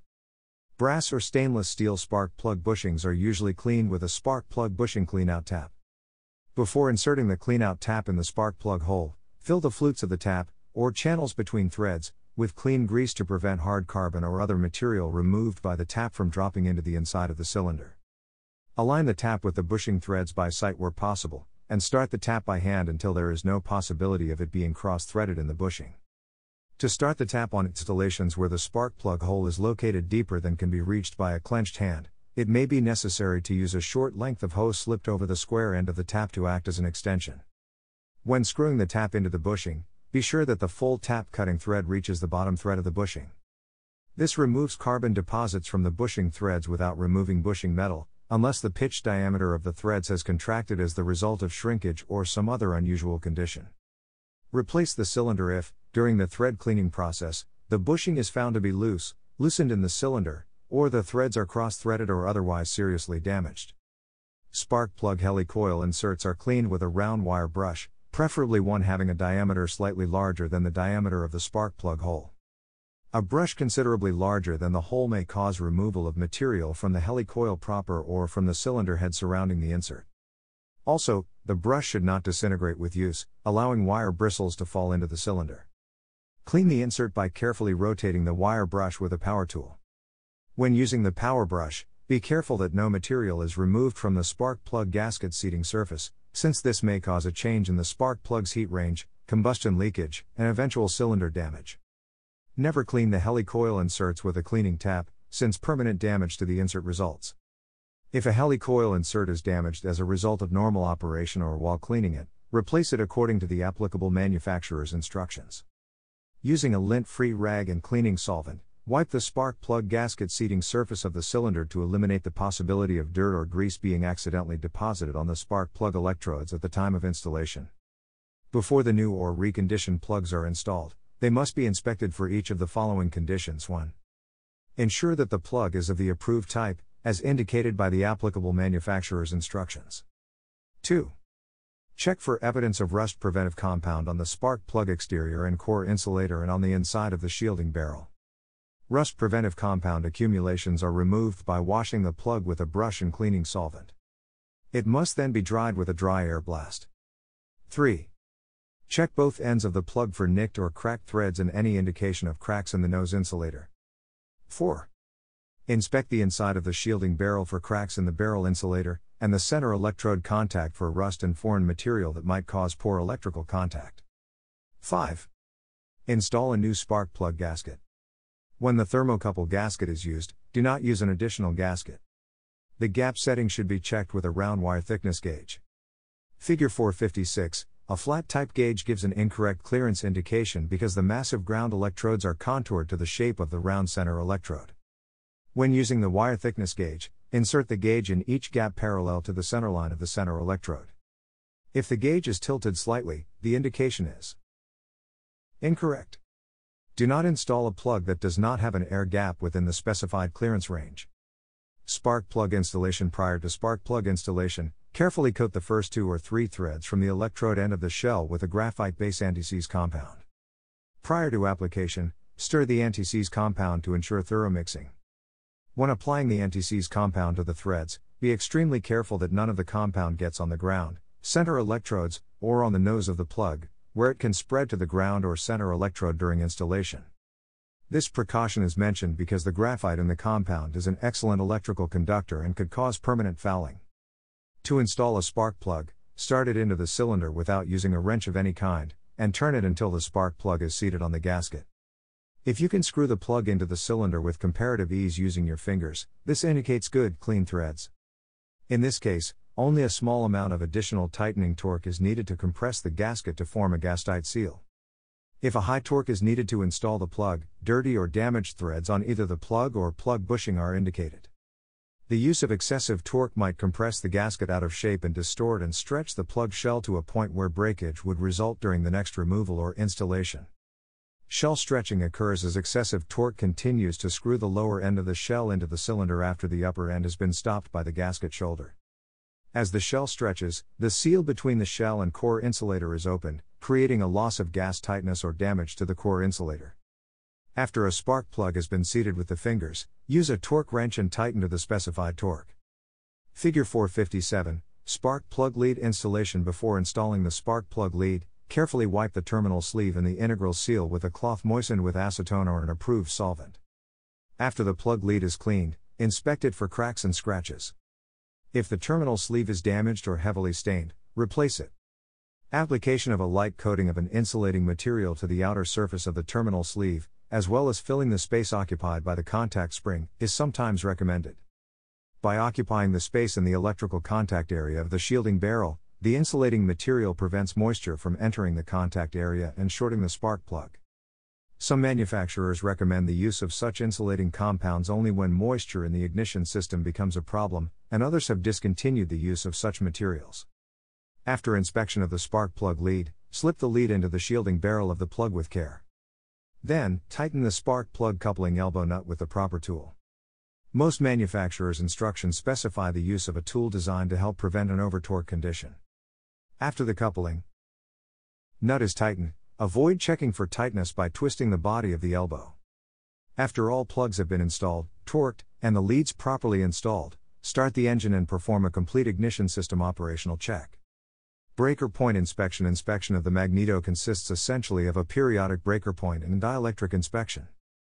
After the magneto has been inspected for security of mounting, remove the magneto cover, or breaker cover, and check the cam for proper lubrication. Under normal conditions, there is usually ample oil in the felt oiler pad of the cam follower to keep the cam lubricated between overhaul periods. However, during the regular routine inspection, Examine the felt pad on the cam follower to be sure it contains sufficient oil for cam lubrication. Make this check by pressing the thumbnail against the oiler pad. If oil appears on the thumbnail, the pad contains sufficient oil for cam lubrication.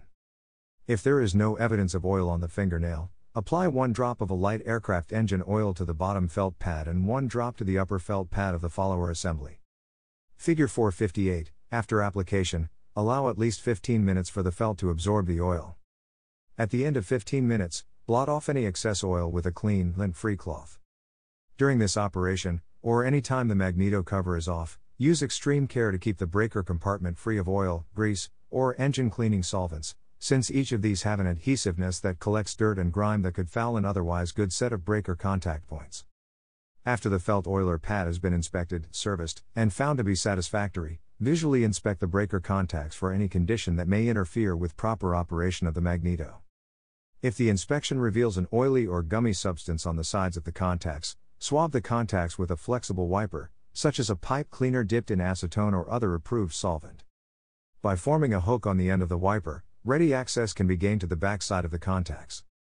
To clean the contact mating surfaces, force open the breaker points enough to admit a small swab.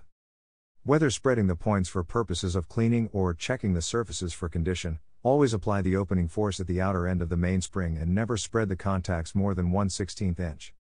If the contacts are spread wider than recommended, the mainspring, the spring carrying the movable contact point, is likely to take a permanent set. If the mainspring takes a permanent set, the movable contact point loses some of its closing tension and the points then either bounce or float, preventing the normal induction buildup of the magneto. A swab can be made by wrapping a piece of linen tape or a small piece of lint free cloth over one of the leaves of a clearance gauge and dipping the swab in an approved solvent.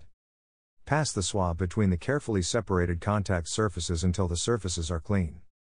During this entire operation, take care that drops of solvent do not fall on lubricated parts, such as the cam, follower block, or felt oiler pad. To inspect the breaker contact surfaces, it is necessary to know what a normal operating set of contacts looks like, what surface condition is considered as permissible wear, and what surface condition is cause for dressing or replacement.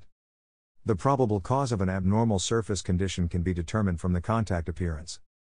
The normal contact surface has a dull gray, sandblasted, almost rough appearance over the area where electrical contact is made. Figure 459 This gray, sandblasted appearance indicates that the points have worn in and have mated to each other and are providing the best possible electrical contact. This does not imply that this is the only acceptable contact surface condition. Slight, smooth surfaced irregularities, without deep pits or high peaks, such as shown in Figure 460, are considered normal. Wear and are not cause for replacement. However, when wear advances to a point where the slight, smooth irregularities develop into well defined peaks extending noticeably above the surrounding surface, the breaker contacts must be replaced. Figure 461 Unfortunately, when a peak forms on one contact, the mating contact has a corresponding pit or hole. This pit is more troublesome than the peak because it penetrates the platinum pad of the contact surface. It is sometimes difficult to judge whether a contact surface is pitted deeply enough to require replacement because this depends on how much of the original platinum is left on the contact surface. The danger arises from the possibility that the platinum pad may already be thin as a result of long service life and previous dressings. At overhaul facilities, a gauge is used to measure the remaining thickness of the pad, and no difficulty in determining the condition of the pad exists. But at line maintenance activities, this gauge is generally unavailable. Therefore, if the peak is quite high or the pit quite deep, remove and replace them with a new assembly. A comparison between figures 4 to 60 and 4 to 61 will help to draw the line between minor irregularities and well defined peaks. Some examples of possible breaker contact surface conditions are illustrated in Figure 462. Item A illustrates an example of erosion or wear called frosting. This condition results from an open circuited condenser and is easily recognized by the coarse, crystalline surface and the black sooty appearance of the sides of the points. The lack of effective condenser action results in an arc of intense heat being formed each time the points open. This, together with the oxygen in the air, rapidly oxidizes and erodes the platinum surface of the points, producing the coarse, crystalline, or frosted appearance. Properly operating points have a fine grained, frosted, or silvery appearance and should not be confused with the coarse grained and sooty point caused by faulty condenser action. Figure 462b and c illustrate badly pitted points. In the early stage, these points are identified by a fairly even contact edge and in minute pits or pocks in or near the center of the contact surface with an overall smoky appearance. In more advanced stages, the pit may develop into a large, jagged crater, and eventually the entire contact surface takes on a burned, black, and crumpled appearance. Pitted points, as a general rule, are caused by dirt and impurities on the contact surfaces. If points are excessively pitted, a new breaker assembly must be installed. Figure 462e illustrates a built up point that can be recognized by the mound of metal that has been transferred from one point to another. Build-up, like the other conditions mentioned, results primarily from the transfer of contact material by means of the arc as the points separate. But, unlike the others, there is no burning or oxidation in the process because of the closeness of the pit of one point and the buildup of the other. This condition may result from excessive breaker point spring tension that retards the opening of the points or causes a slow, lazy break. It can also be caused by a poor primary condenser or a loose connection at the primary coil. If excessive buildup has occurred, a new breaker assembly must be installed. Figure 462f illustrates oily points that can be recognized by their smoked and smudged appearance and by the lack of any of the previously mentioned irregularities. This condition may be the result of excessive cam lubrication or of oil vapors that may come from within or outside the magneto. A smoking or fuming engine, for example, could produce the oil vapors. These vapors then enter the magneto through the magneto ventilator and pass between and around the points. These conductive vapors produce arcing and burning on the contact surfaces. The vapors also adhere to the other surfaces of the breaker assembly and form the sooty deposit. If so, install new breaker assembly. Dielectric inspection Another phase of magneto inspection is the dielectric inspection. This inspection is a visual check for cleanliness and cracks. If inspection reveals that the coil cases, condensers, distributor rotor, or blocks are oily or dirty or have any trace of carbon tracking, they require cleaning and possibly waxing to restore their dielectric qualities. Clean all accessible condensers and coil cases that contain condensers by wiping them with a lint free cloth moistened with acetone. Many parts of this type have a protective coating. This protective coating is not affected by acetone, but it may be damaged by scraping or by the use of other cleaning fluids. Never use unapproved cleaning solvents or improper cleaning methods. Also, when cleaning condensers or parts that contain condensers, do not dip, submerge, or saturate the parts in any solution because the solution used may seep inside the condenser and short out the plates. Coil cases, distributor blocks, distributor rotors, and other dielectric parts of the ignition system are treated with a wax coating when they are new and again at overhaul.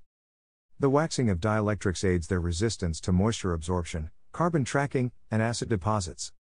When these parts become dirty or oily, some of the original protection is lost, and carbon tracking may result. If any hairline carbon tracks or acid deposits are present on the surface of the dielectric, immerse the part in approved cleaning solvent and scrub it vigorously with a stiff bristle brush. When the carbon track or acid deposits have been removed, wipe the part with a clean, dry cloth to remove all traces of the solvent used for cleaning. Then, coat the part with a special ignition treating wax. After wax treating the part, remove excess wax deposits and reinstall the part in the magneto. Ignition harness maintenance Although the ignition harness is simple, it is a vital link between the magneto and spark plug. Because the harness is mounted on the engine and exposed to the atmosphere, it is vulnerable to heat, moisture, and the effects of changing altitude. These factors, plus aging insulation and normal gap erosion, work against efficient engine operation. The insulation may break down on a wire inside the harness, and allow the high voltage to leak through the insulation to the harness shielding instead of going to the spark plug. Open circuits may result from broken wires or poor connections. A bare wire may be in physical contact with the shielding, or two wires may be shorted together. Any serious defect in an individual lead prevents the high tension impulse from reaching the spark plug to which the lead is connected. As a result, this plug will not fire.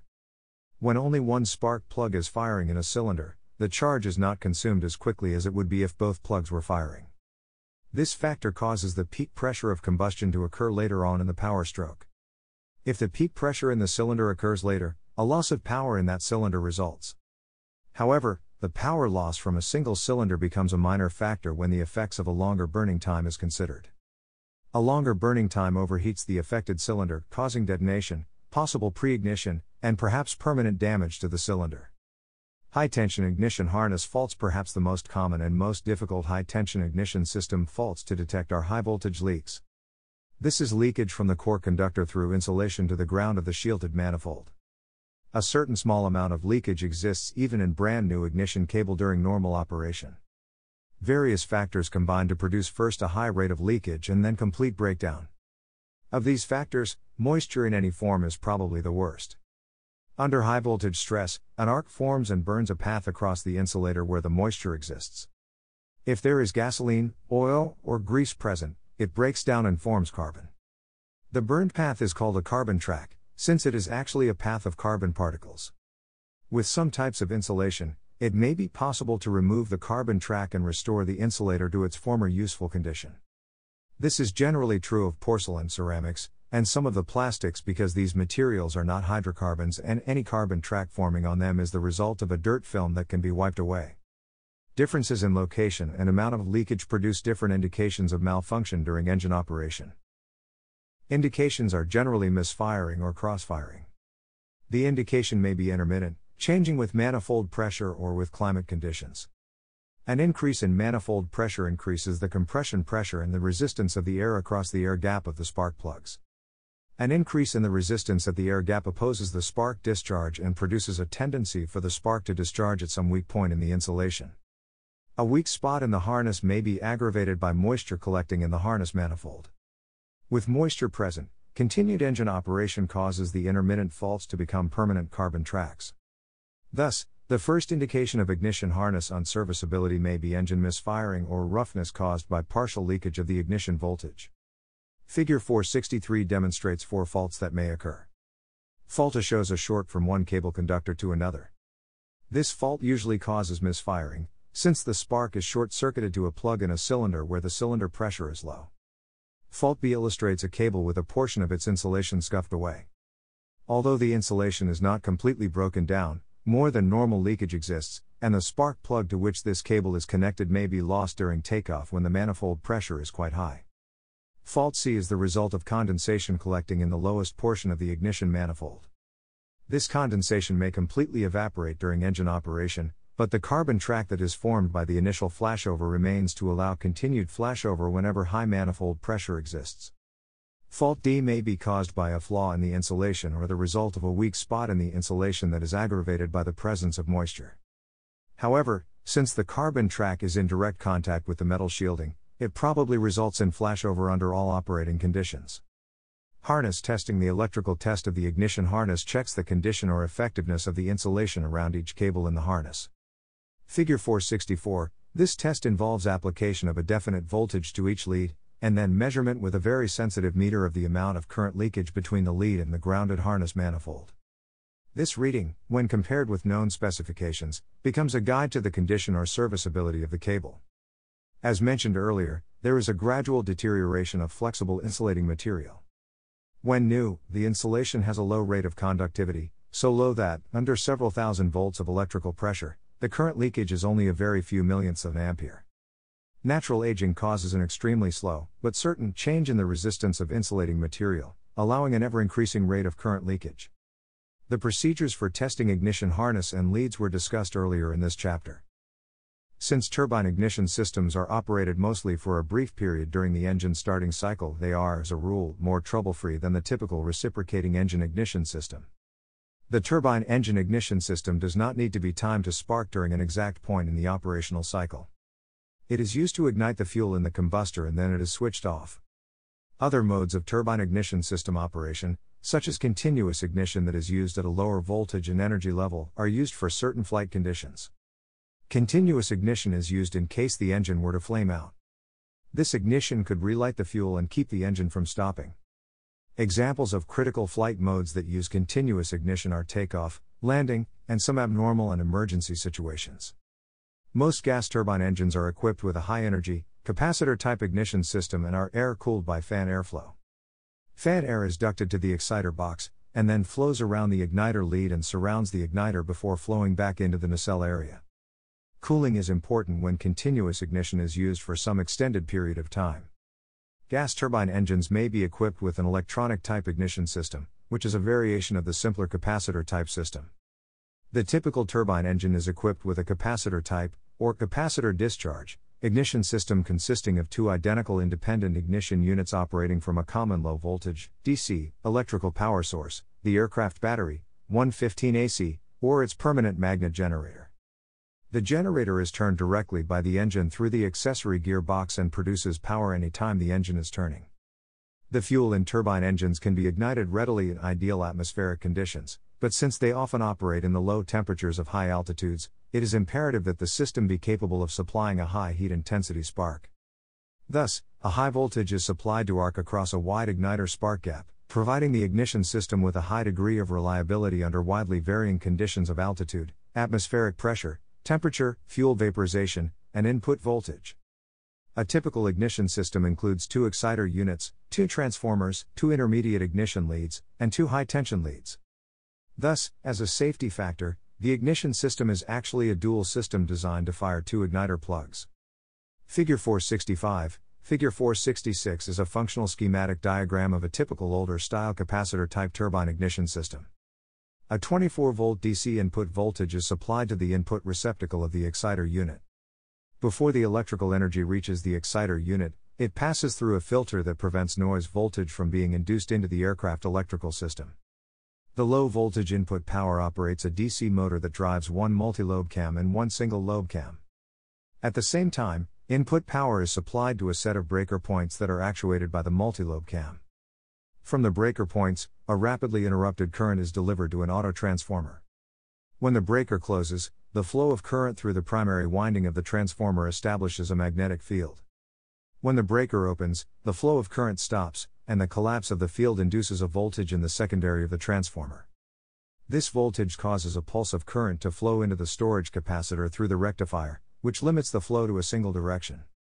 With repeated pulses, the storage capacitor assumes a charge, up to a maximum of approximately 4 joules. Note, 1 joule per second equals 1 watt. The storage capacitor is connected to the spark igniter through the triggering transformer and a contactor, normally open. When the charge on the capacitor has built up, the contactor is closed by the mechanical action of the single lobe cam. A portion of the charge flows through the primary of the triggering transformer and the capacitor connected with it. This current induces a high voltage in the secondary, which ionizes the gap at the spark igniter. When the spark igniter is made conductive, the storage capacitor discharges the remainder of its accumulated energy along with the charge from the capacitor in series with the primary of the triggering transformer. The spark rate at the power supply that affects the RPM of the motor. However, since both cams are geared to the same shaft, the storage capacitor always accumulates its store of energy from the same number of pulses before discharge. The employment of the high frequency triggering transformer, with a low reactance secondary winding, holds the time duration of the discharge to a minimum. This concentration of maximum energy and minimum time achieves an optimum spark for ignition purposes, capable of blasting carbon deposits and vaporizing globules of fuel. All high voltage in the triggering circuits is completely isolated from the primary circuits. The complete exciter is hermetically sealed, protecting all components from adverse operating conditions, eliminating the possibility of flashover at altitude due to pressure change. This also ensures shielding the radio reception of the aircraft. Capacitor discharge exciter unit This capacity type system provides ignition for turbine engines. Like other turbine ignition systems, it is required only for starting the engine. Once combustion has begun, the flame is continuous. Figure 467 The energy is stored in capacitors. Each discharge circuit incorporates two storage capacitors, both are located in the exciter unit. The voltage across these capacitors is stepped up by transformer units. At the instant of igniter plug firing, the resistance of the gap is lowered sufficiently to permit the larger capacitor to discharge across the gap. The discharge of the second capacitor is of low voltage, but of very high of not only igniting abnormal fuel mixtures but also burning away any foreign deposits on the plug electrodes. The exciter is a dual unit that produces sparks at each of the two igniter plugs. A continuous series of sparks is produced until the engine starts. The power is then cut off, and the plugs do not fire while the engine is operating other than on continuous ignition for certain flight conditions. This is why the exciters are air cooled to prevent overheating during long use of continuous ignition. Igniter plugs The igniter plug of a turbine engine ignition system differs considerably from the spark plug of a reciprocating engine ignition system. Figure 468 Its electrode must be capable of withstanding a current of much higher energy than the electrode of a conventional spark plug. This high energy current can quickly cause electrode erosion, but the short periods of operation minimize this aspect of igniter maintenance. The electrode gap of the typical igniter plug is designed much larger than that of a spark plug since the operating pressures are much lower and the spark can arc common to the spark plug is minimized by the heat of the high intensity spark. Figure 469 is a cutaway illustration of a typical annular gap igniter plug, sometimes referred to as a long reach igniter because it projects slightly into the combustion chamber liner to produce a more effective spark. Another type of igniter plug, the constrained gap plug, is used in some types of turbine engines. Figure 470, it operates at a much cooler temperature because it does not project into the combustion chamber liner. This is possible because the spark does not remain close to the plug, but arcs beyond the face of the combustion chamber liner. Turbine ignition system inspection and maintenance Maintenance of the typical turbine engine ignition system consists primarily of inspection, test, troubleshooting, removal, and installation. Inspection Inspection of the ignition system normally includes the following Ignition lead terminal inspection. Ceramic terminal should be free of arcing, carbon tracking, and cracks. The grommet seal should be free of flashover and carbon tracking. Figure 471 The wire insulation should remain flexible with no evidence of arcing through the insulation. Inspect the complete system for security of component mounting, shorts or high voltage arcing, and loose connections. Check system operation The igniter can be checked by listening for a snapping noise as the engine begins to turn, driven by the starter. Though the following procedure is not common practice, and should only be used when the maintenance manual suggests it as an alternative method, the igniter can also be checked by removing it and activating the start cycle, noting the spark across the igniter. Caution The high energy level and voltage associated with turbine ignition systems can cause injury or death to personnel coming into contact with the activated system. Repair, tighten, and secure as required, and replace faulty components and wiring. Secure, tighten, and safety as required. Removal, maintenance, and installation of ignition system components. The following instructions are typical procedures suggested by many gas turbine manufacturers. These instructions are applicable to the engine ignition components. Always consult the applicable manufacturer's instructions before performing any ignition system maintenance. Ignition system leads 1. Remove clamps securing ignition leads to engine. 2. Remove safety wire and disconnect electrical connectors from exciter units. 3. Remove safety wire and disconnect lead from igniter plug. 4. Discharge any electrical charge stored in the system by grounding and remove ignition leads from engine. 5. Clean leads with approved dry cleaning solvent.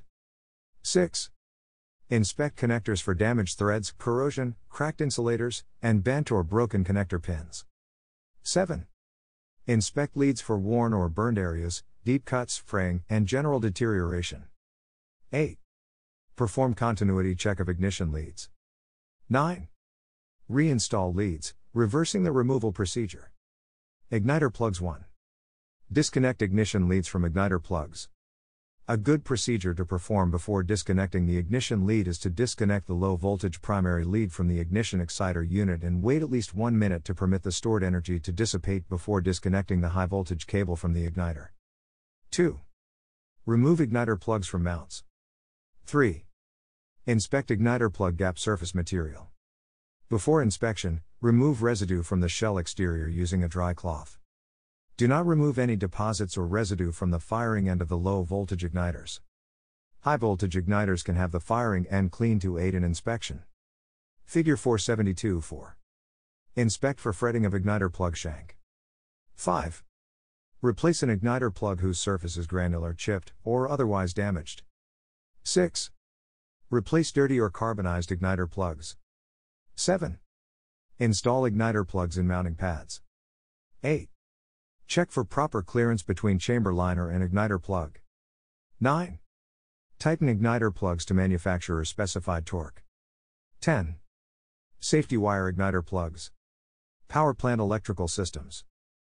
The satisfactory performance of any modern aircraft depends to a great degree on the continuing reliability of electrical systems and subsystems. Improperly or carelessly installed or maintained wiring can be a source of both immediate and potential danger. The continued proper performance of electrical systems depends upon the knowledge and technique of the mechanic who installs, inspects, and maintains the electrical wire and cable of the electrical systems. The procedures and practices outlined in this section are general recommendations, and are not intended to replace the manufacturer's instructions and approved practices.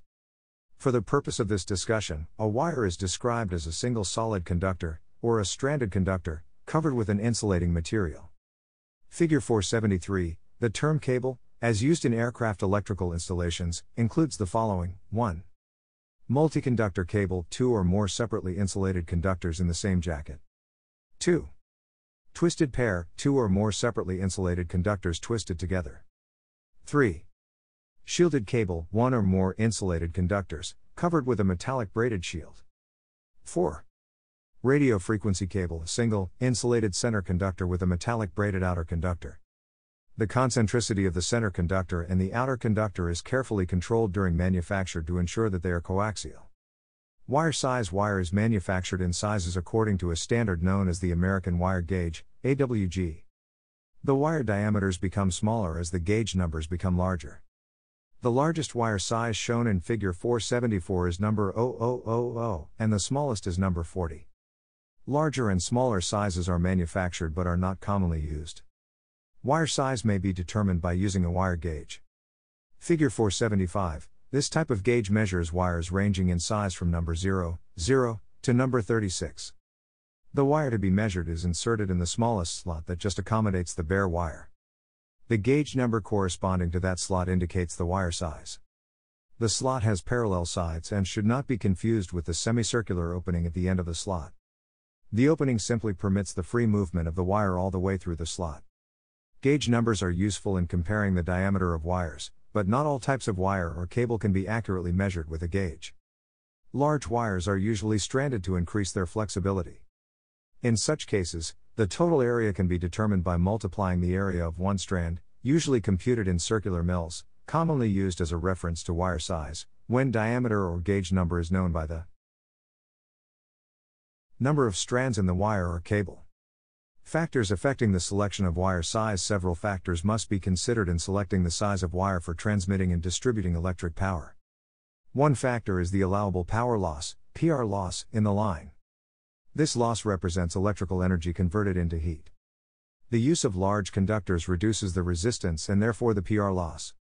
However, large conductors are more expensive initially than small ones, they are heavier and require more substantial supports. A second factor is the permissible voltage drop, IR drop, in the line. If the source maintains a constant voltage at the input to the line, any variation in the load on the line causes a variation in line current and a consequent variation in the IR drop in the line.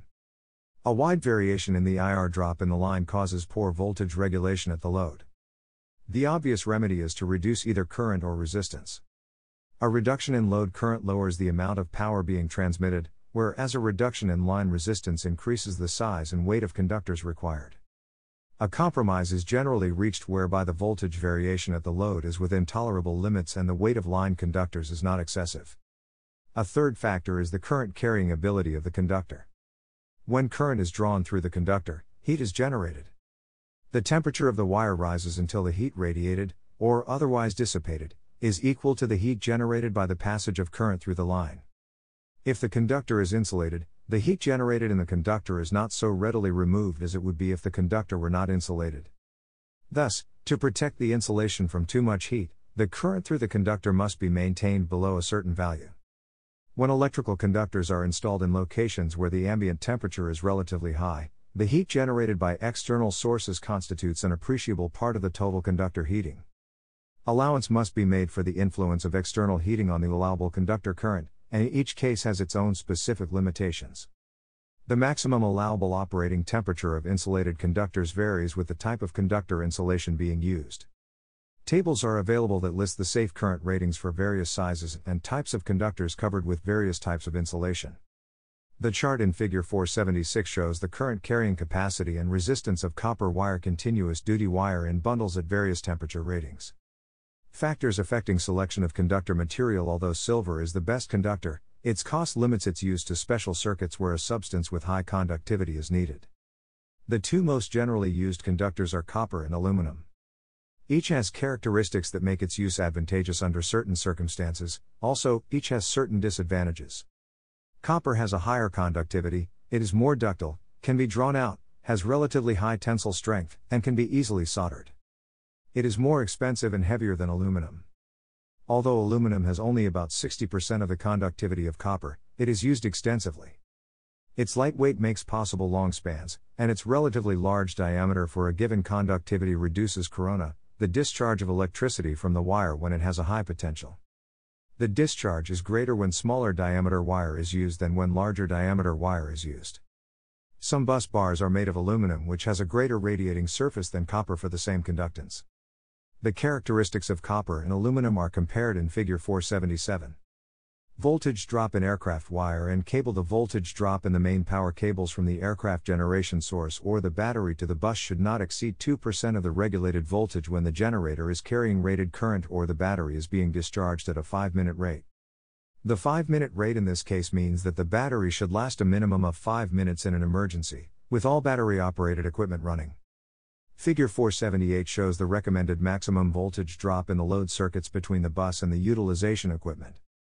The resistance of the current return path through the aircraft. Structure is always considered negligible.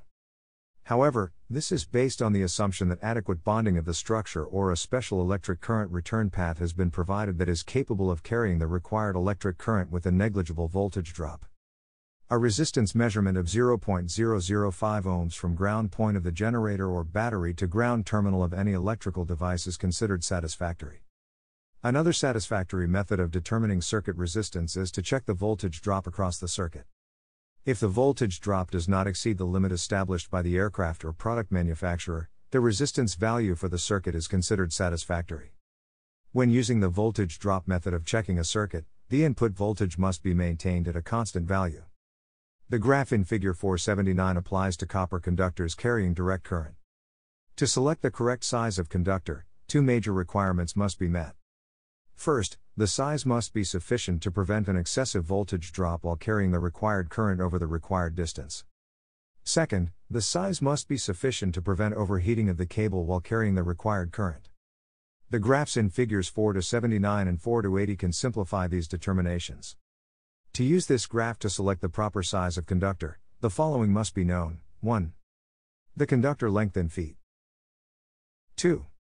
The number of amperes of current to be carried 3. The amount of voltage drop permitted 4. Whether the current to be carried is intermittent or continuous 5. The estimated or measured temperature of the conductor 6. Whether the wire to be installed is in a conduit or in a bundle 7. Whether it is a single conductor in free air, suppose that you want to install a 50 foot conductor from the aircraft bus to the equipment in a 28 volt system. For this length, a 1 volt drop is permissible for continuous operation with a conductor temperature of 20 degrees Celsius or less.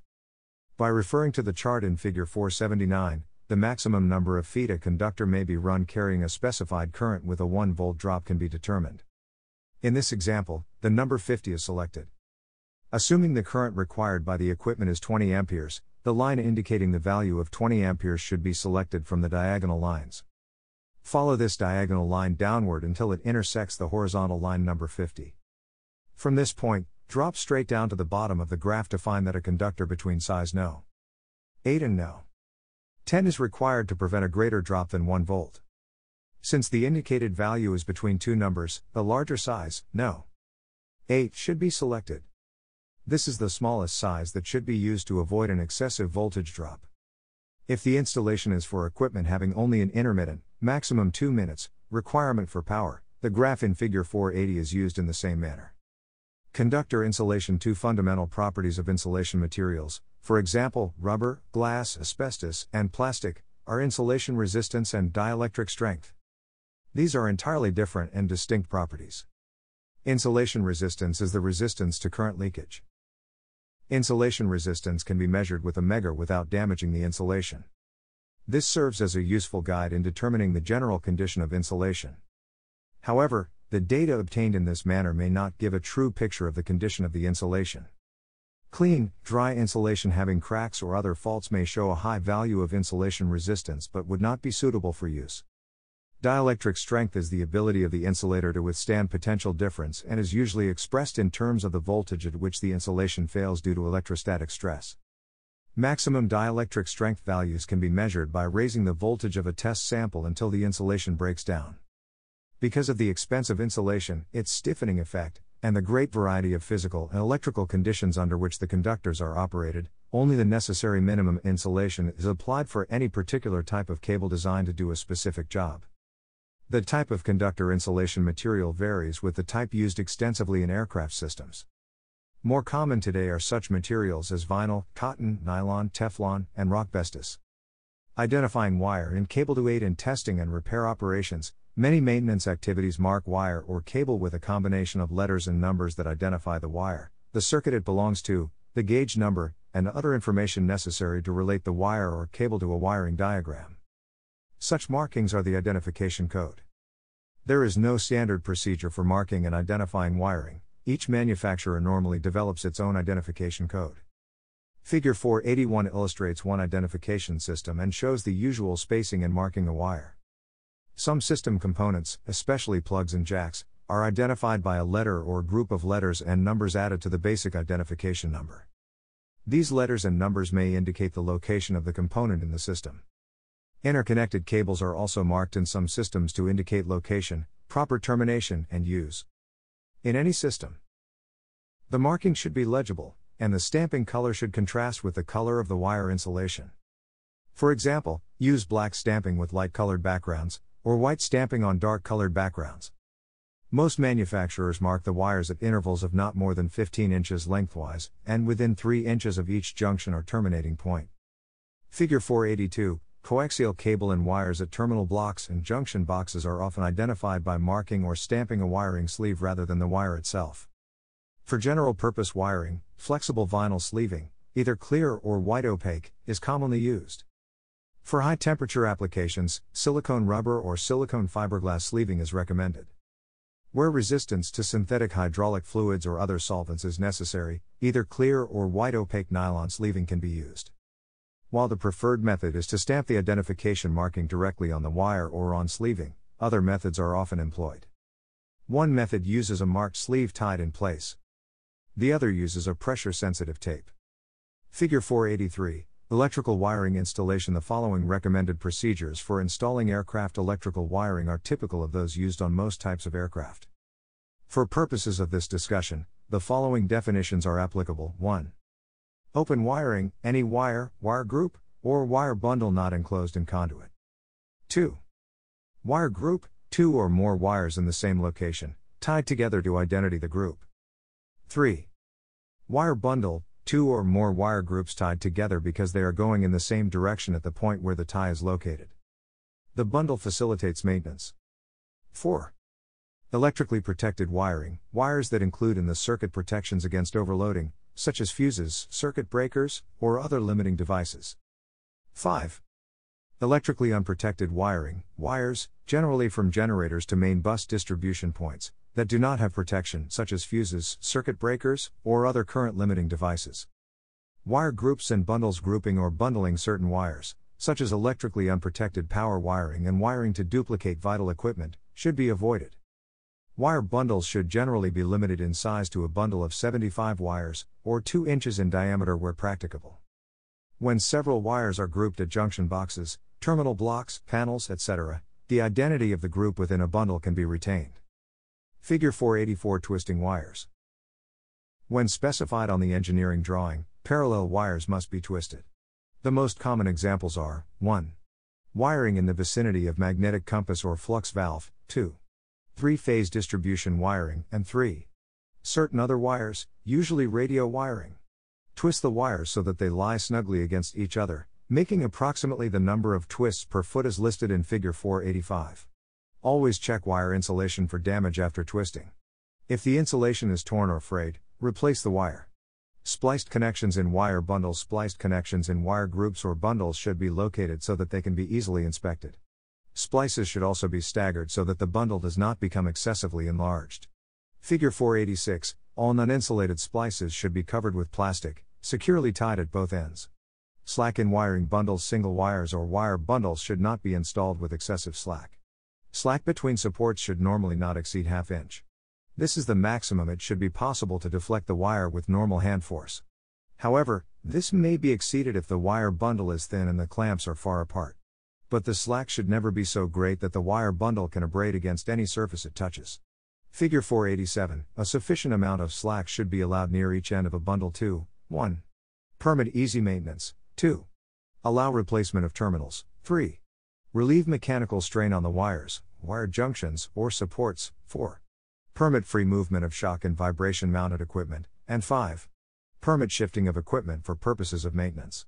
Bend radii bends in wire groups or bundles should not be less than 10 times the outside diameter of the wire group or bundle. However, at terminal strips, where wire is suitably supported, at each end of the bend, a minimum radius of 3 times the outside diameter of the wire, or wire bundle, is usually acceptable. There are exceptions to these guidelines in the case of certain types of cable. For example, coaxial cable should never be bent to a smaller radius than 6 times the outside diameter. Routing and installation all wiring should be installed so that it is mechanically and electrically sound and neat in appearance. Whenever practicable, wires and bundles should be routed parallel with, or at right angles to, the stringers or ribs of the area involved. An exception to this general rule is the coaxial cables, which are routed as directly as possible. The wiring must be adequately supported throughout its length. A sufficient number of supports must be provided to prevent undue vibration of the unsupported lengths. All wires and wire groups should be routed and installed to protect them from 1. Chafing or abrasion, 2. High temperature, 3. Being used as handholds, or as support for personal belongings and equipment, 4. Damage by personnel moving within the aircraft, 5. Damage from cargo stowage or shifting, 6. Damage from battery acid fumes, spray, or spillage, and 7. Damage from solvents and fluids. Protection against chafing wires and wire groups should be installed so that they are protected against chafing or abrasion in those locations where contact with sharp surfaces or other wires would damage the insulation. Damage to the insulation can cause short circuits, malfunctions, or inadvertent operation of equipment. Cable clamps should be used to support wire bundles at each hole through a bulkhead. Figure 488 If wires come closer than 1 quarter inch to the edge of the hole, a suitable grommet is used in the hole. Figure 489 Sometimes, it is necessary to cut nylon or rubber grommets to facilitate installation. In these instances, after insertion, the grommet can be secured in place with general purpose cement. The slot should be at the top of the hole, and the cut should be made at an angle of 45 degrees to the axis of the wire bundle hole. Protection against high temperature to prevent insulation deterioration. Wires should be kept separate from high temperature equipment, such as resistors, exhaust stacks, heating ducts. The amount of separation is usually specified by engineering drawings. Some wires must be run through hot areas. These wires must be insulated with high temperature rated material, such as asbestos, fiberglass, or Teflon. Additional protection is also often required in the form of conduits. A low temperature insulated wire should never be used to replace a high temperature insulated wire. Many coaxial cables have soft plastic insulation, such as polyethylene, that is especially subject to deformation and deterioration at elevated temperatures. All high temperature areas should be avoided when installing these cables. Additional abrasion protection should be given to asbestos wires enclosed in conduit. Either conduit with a high temperature rubber liner should be used or asbestos wires can be enclosed individually in high temperature plastic tubes before being installed in the conduit. Protection against solvents and fluids avoid installing wires in areas where they are subjected to damage from fluids. Wires should not be placed in the lowest 4 inches of the aircraft fuselage, except those that must terminate in that area. If there is a possibility that wiring without a protective nylon outer jacket may be soaked with fluids, plastic tubing should be used to protect it. This tubing should extend past the exposure area in both directions and should be tied at each end. If the wire has a low point between the tubing ends, provide a 1 8 inch drainage hole. Figure 490 This hole should be punched into the tubing after the installation is complete and the low point definitely established by using a hole punch to cut a half circle. Care should be taken not to damage any wires inside the tubing when using the punch. Wires should never be routed below a battery. All wires in the vicinity of a battery should be inspected frequently.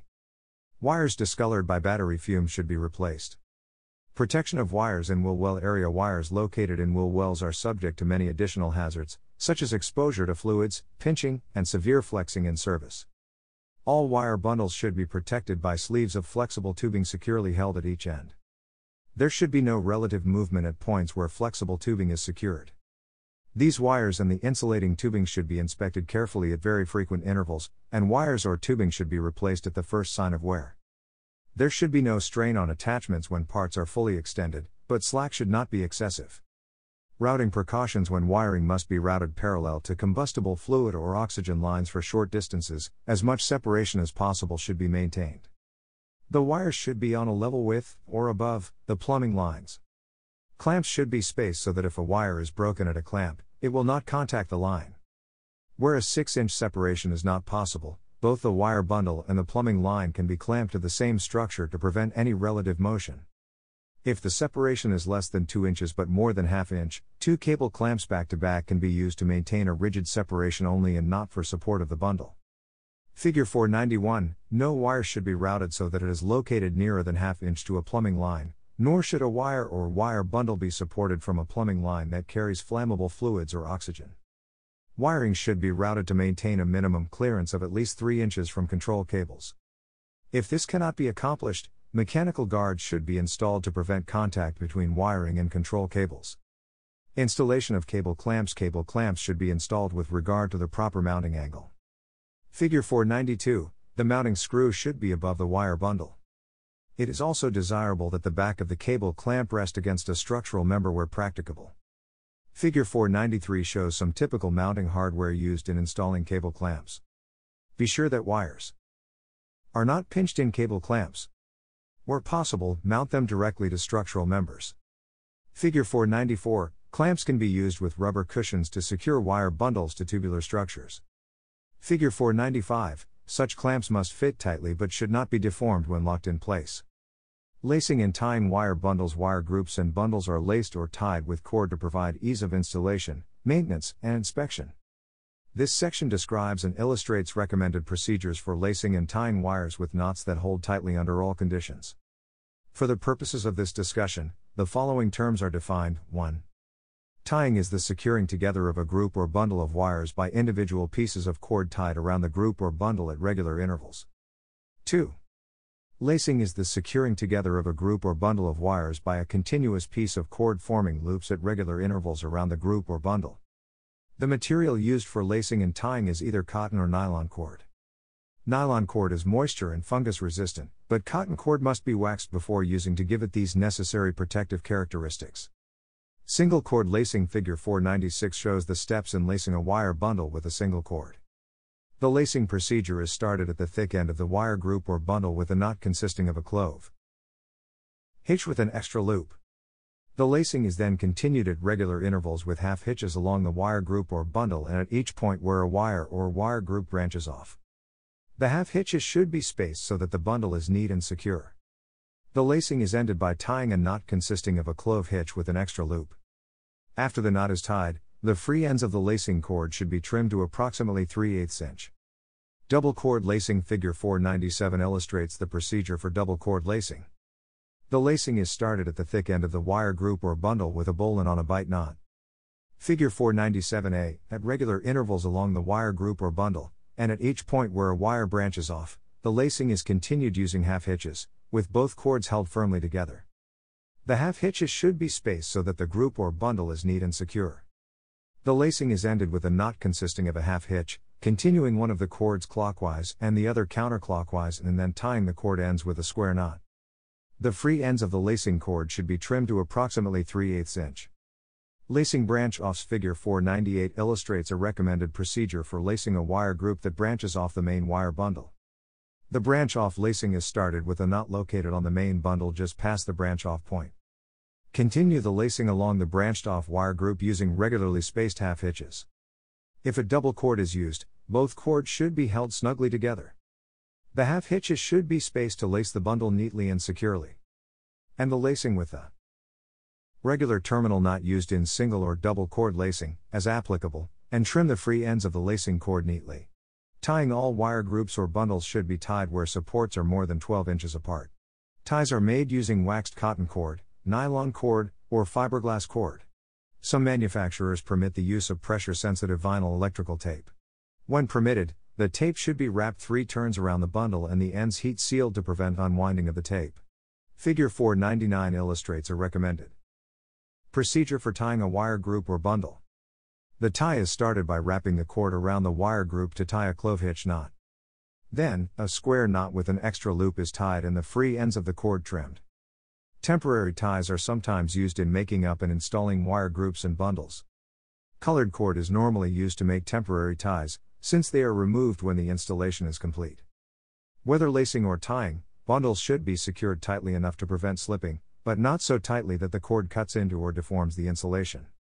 This applies especially to coaxial cable, which has a soft dielectric insulation between the inner and outer conductor.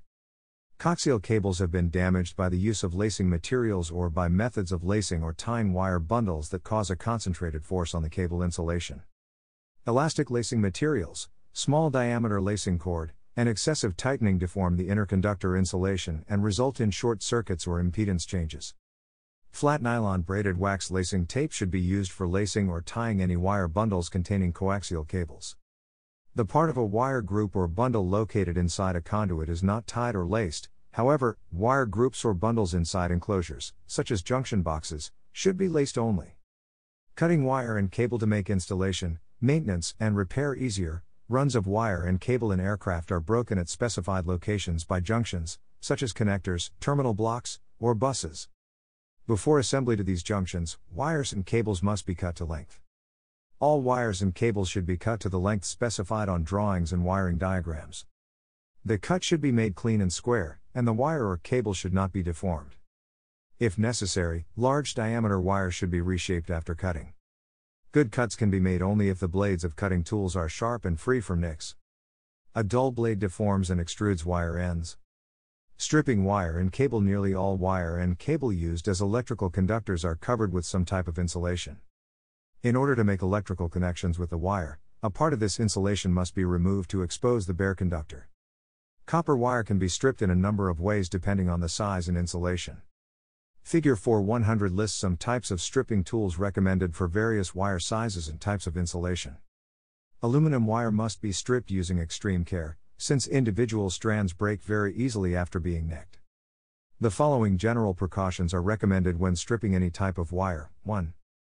When using any type of wire stripper, hold the wire so that it is perpendicular to the cutting blades. 2. Adjust automatic stripping tools carefully. Follow the manufacturer's instructions to avoid nicking, cutting, or otherwise damaging strands. This is especially important for aluminum wires and for copper wires smaller than No. 10. Examine stripped wires for damage.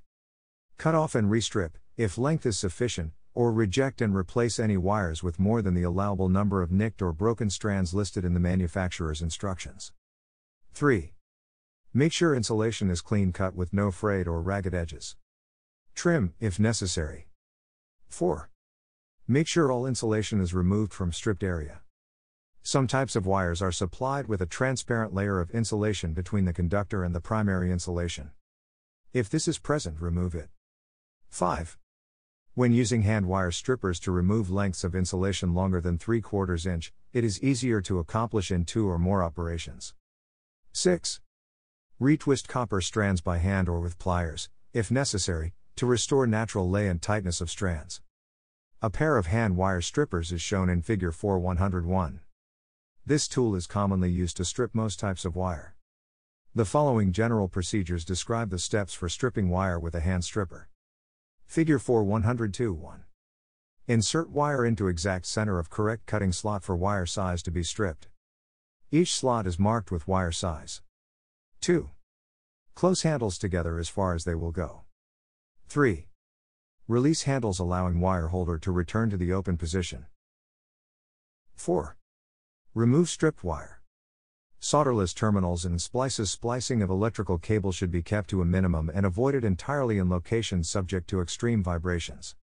Individual wires in a group or bundle can usually be spliced if the completed splice is located where it can be inspected periodically.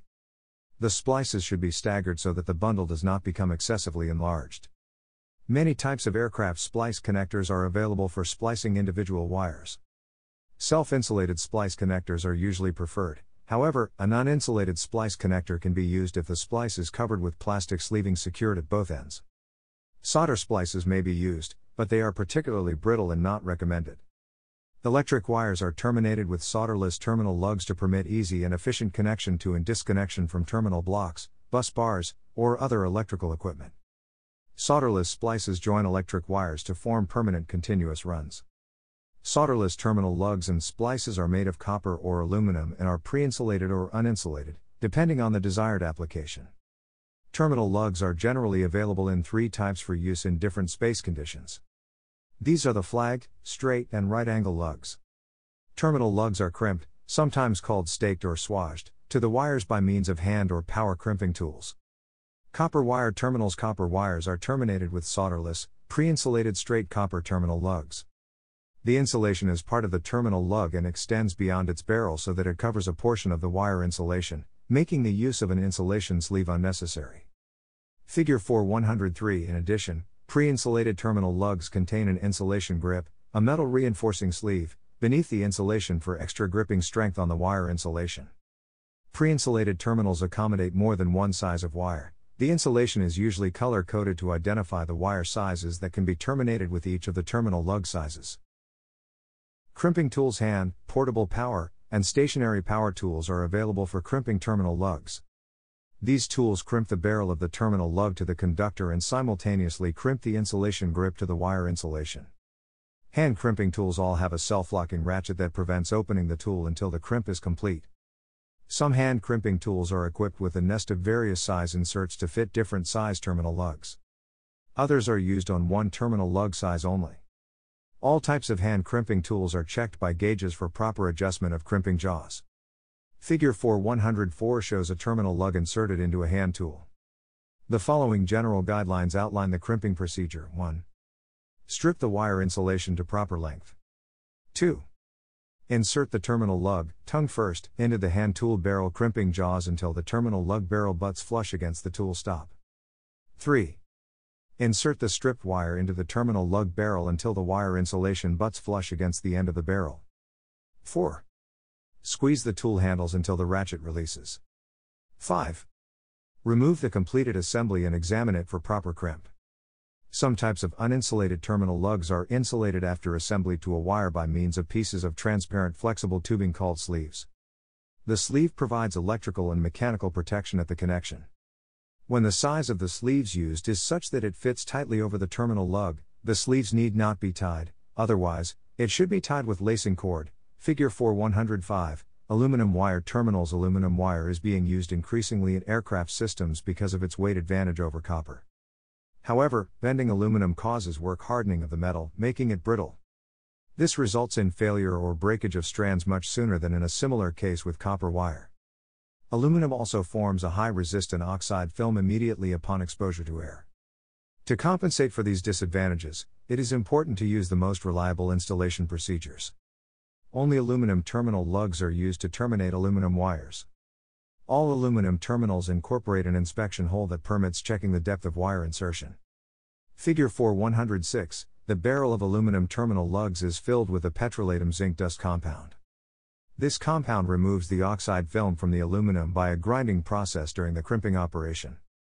The compound also minimizes later oxidation of the completed connection by excluding moisture. Barrel by a plastic or foil seal at the end of the barrel. Splicing copper wires using pre-insulated wires Pre-insulated permanent copper splices join small wires of sizes 22 through 10. Each splice size can be used for more than one wire size. Splices are usually color coded in the same manner as pre-insulated, small copper terminal lugs. Some splices are insulated with white plastic. Splices are also used to reduce wire sizes. Figure 4 107. Crimping procedures are the same as those used for terminal lugs, except that the crimping operation must be done twice, one for each end of the splice. Emergency splicing repairs broken wires can be repaired by means of crimped splices, by using terminal lugs from which the tongue has been cut off, or by soldering together and potting broken strands. These repairs are applicable to copper wire. Damaged aluminum wire must not be temporarily spliced.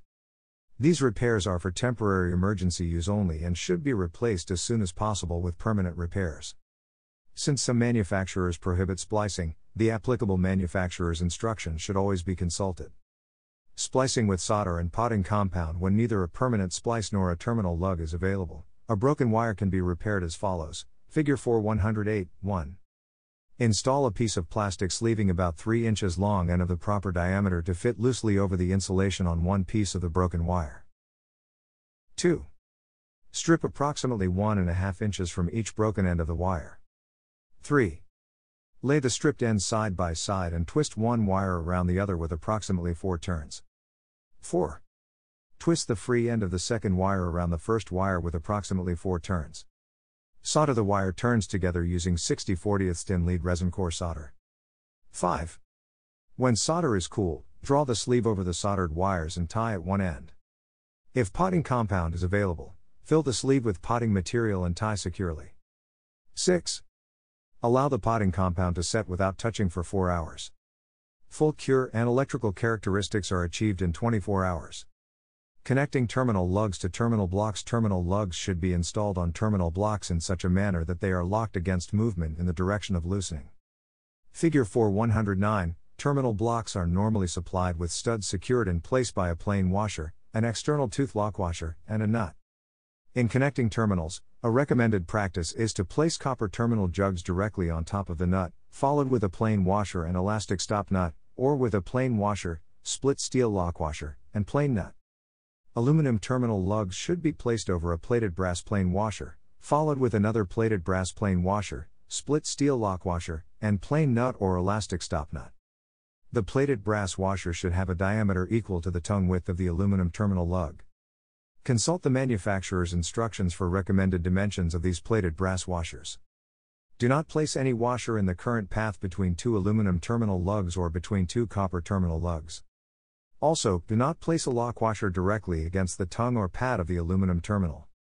To join a copper terminal lug to an aluminum terminal lug, place a plated brass plain washer over the nut that holds the stud in place. Follow with the aluminum terminal lug, a plated brass plain washer, the copper terminal lug, plain washer, split steel lock washer and plain nut or self-locking, all metal nut. As a general rule, use a torque wrench to tighten nuts to ensure sufficient contact pressure. Manufacturer's instructions provide installation torques for all types of terminals.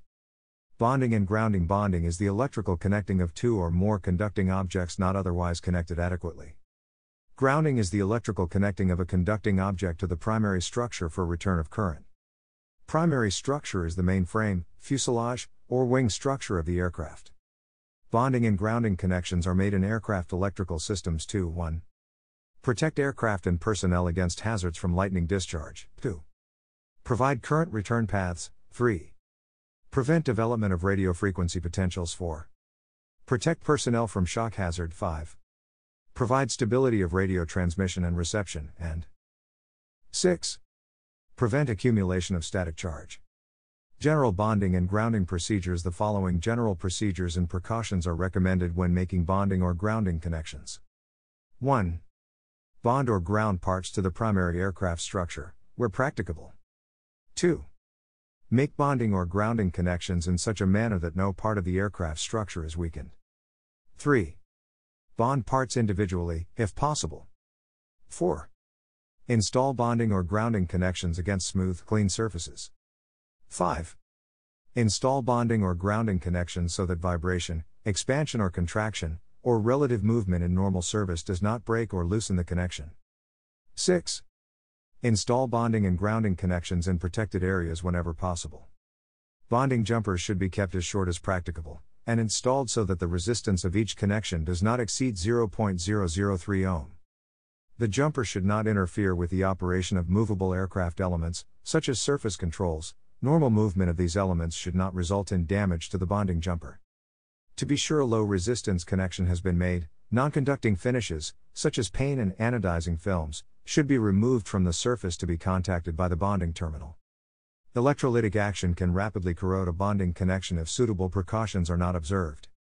Aluminum alloy jumpers are recommended for most cases, however, copper jumpers can be used to bond together parts made of stainless steel, cadmium plated steel, copper, brass, or bronze. Where contact between dissimilar metals cannot be avoided, the choice of jumper and hardware should be such that corrosion is minimized, and the part most likely to corrode is the jumper or associated hardware. Parts A and B of Figure 4 110 illustrate some proper hardware combinations for making bonding connections. At locations where finishes are removed, a protective finish should be applied to the completed connection to prevent corrosion. The use of solder to attach bonding jumpers should be avoided. Tubular members should be bonded by means of clamps to which the jumper is attached. The proper choice of clamp material minimizes the probability of corrosion. When bonding jumpers carry a substantial amount of ground return current, the current rating of the jumper should be adequate, and it should be determined that a negligible voltage drop is produced. Bonding and grounding connections are normally made to flat surfaces by means of through bolts or screws where there is easy access for installation. The general types of bolted connections are 1. In making a stud connection, a bolt or screw is locked securely to the structure, becoming a stud. Figure 4 111 Grounding or bonding jumpers can be removed or added to the shank of the stud without removing the stud from the structure. 2. Nut plates are used where access to the nut for repairs is difficult. Nut plates are riveted or welded to a clean area of the structure. Figure 4 112 Bonding and grounding connections are also made to a tab riveted to a structure. Figure 4 113 In such cases, it is important to clean the bonding or grounding surface and make the connection as though the connection were being made to the structure. If it is necessary to remove the tab for any reason, the rivets should be replaced with rivets one size larger, and the mating surfaces of the structure and the tab should be clean and free of anodic film. Bonding or grounding connections can be made to aluminum alloy, magnesium, or corrosion resistant steel tubular structure. Figure 4 114 shows the arrangement of hardware for bonding with an aluminum jumper. Because of the ease with which aluminum is deformed, it is necessary to distribute screw and nut pressure by means of plain washers. Hardware used to make bonding or grounding connections should be selected on the basis of mechanical strength, current to be carried, and ease of installation. If connection is made by aluminum or copper jumpers to the structure of a dissimilar material, a washer of suitable material should be installed between the dissimilar metals so that any corrosion occurs on the washer.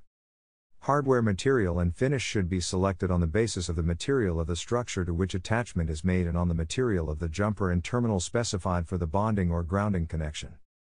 Either a screw or bolt of the proper size for the specified jumper terminal should be used. When repairing or replacing existing bonding or grounding connections, the same type of hardware used in the original connection should always be used. Connectors, connectors, plugs, and receptacles facilitate maintenance when frequent disconnection is required. Since the cable is soldered to the connector inserts, the joints should be individually installed and the cable bundle firmly supported to avoid damage by vibration. Connectors have been particularly vulnerable to corrosion in the past, due to condensation within the shell. Special connectors with waterproof features have been developed that may replace non waterproof plugs in areas where moisture causes a problem. A connector of the same basic type and design should be used when replacing a connector. Connectors that are susceptible to corrosion difficulties may be treated with a chemically inert waterproof jelly. When replacing connector assemblies, the socket type insert should be used on the half that is live or hot after the connector is disconnected to prevent unintentional grounding. Types of connectors Connectors are identified by Air Force Navy, and numbers and are divided into classes with the manufacturer's variations in each class. The manufacturer's variations are differences in appearance and in the method of meeting a specification. Some commonly used connectors are shown in Figure 4 115. There are five basic classes of AN connectors used in most aircraft. Each class of connector has slightly different construction characteristics. Classes A, B, C, and D are made of aluminum, and Class K is made of steel. 1. Class A solid, one piece back shell general purpose connector. 2. Class B, connector back shell separates into two parts lengthwise. Used primarily where it is important that the soldered connectors are readily accessible. The back shell is held together by a threaded ring or by screws. 3. Class C, a pressurized connector with inserts that are not removable. Similar to a Class A connector in appearance, but the inside sealing arrangement is sometimes different. It is used on walls or bulkheads of pressurized equipment. 4. Class D, moisture and vibration resistant connector that has a sealing grommet in the back shell. Wires are threaded through tight fitting holes in the grommet, sealing against moisture. 5.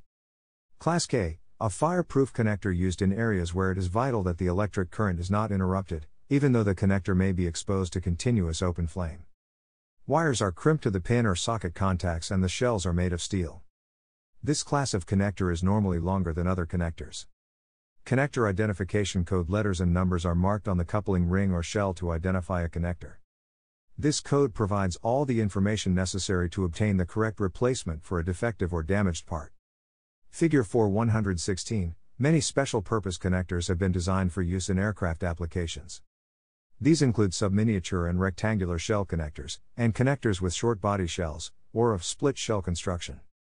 Installation of connectors The following procedures outline one recommended method of assembling connectors to receptacles. 1. Locate the proper position of the plug in relation to the receptacle by aligning the key of one part with the groove or keyway of the other part. 2. Start the plug into the receptacle with a slight forward pressure and engage the threads of the coupling ring and receptacle. 3. Alternately push in the plug and tighten the coupling ring until the plug is completely seated. 4.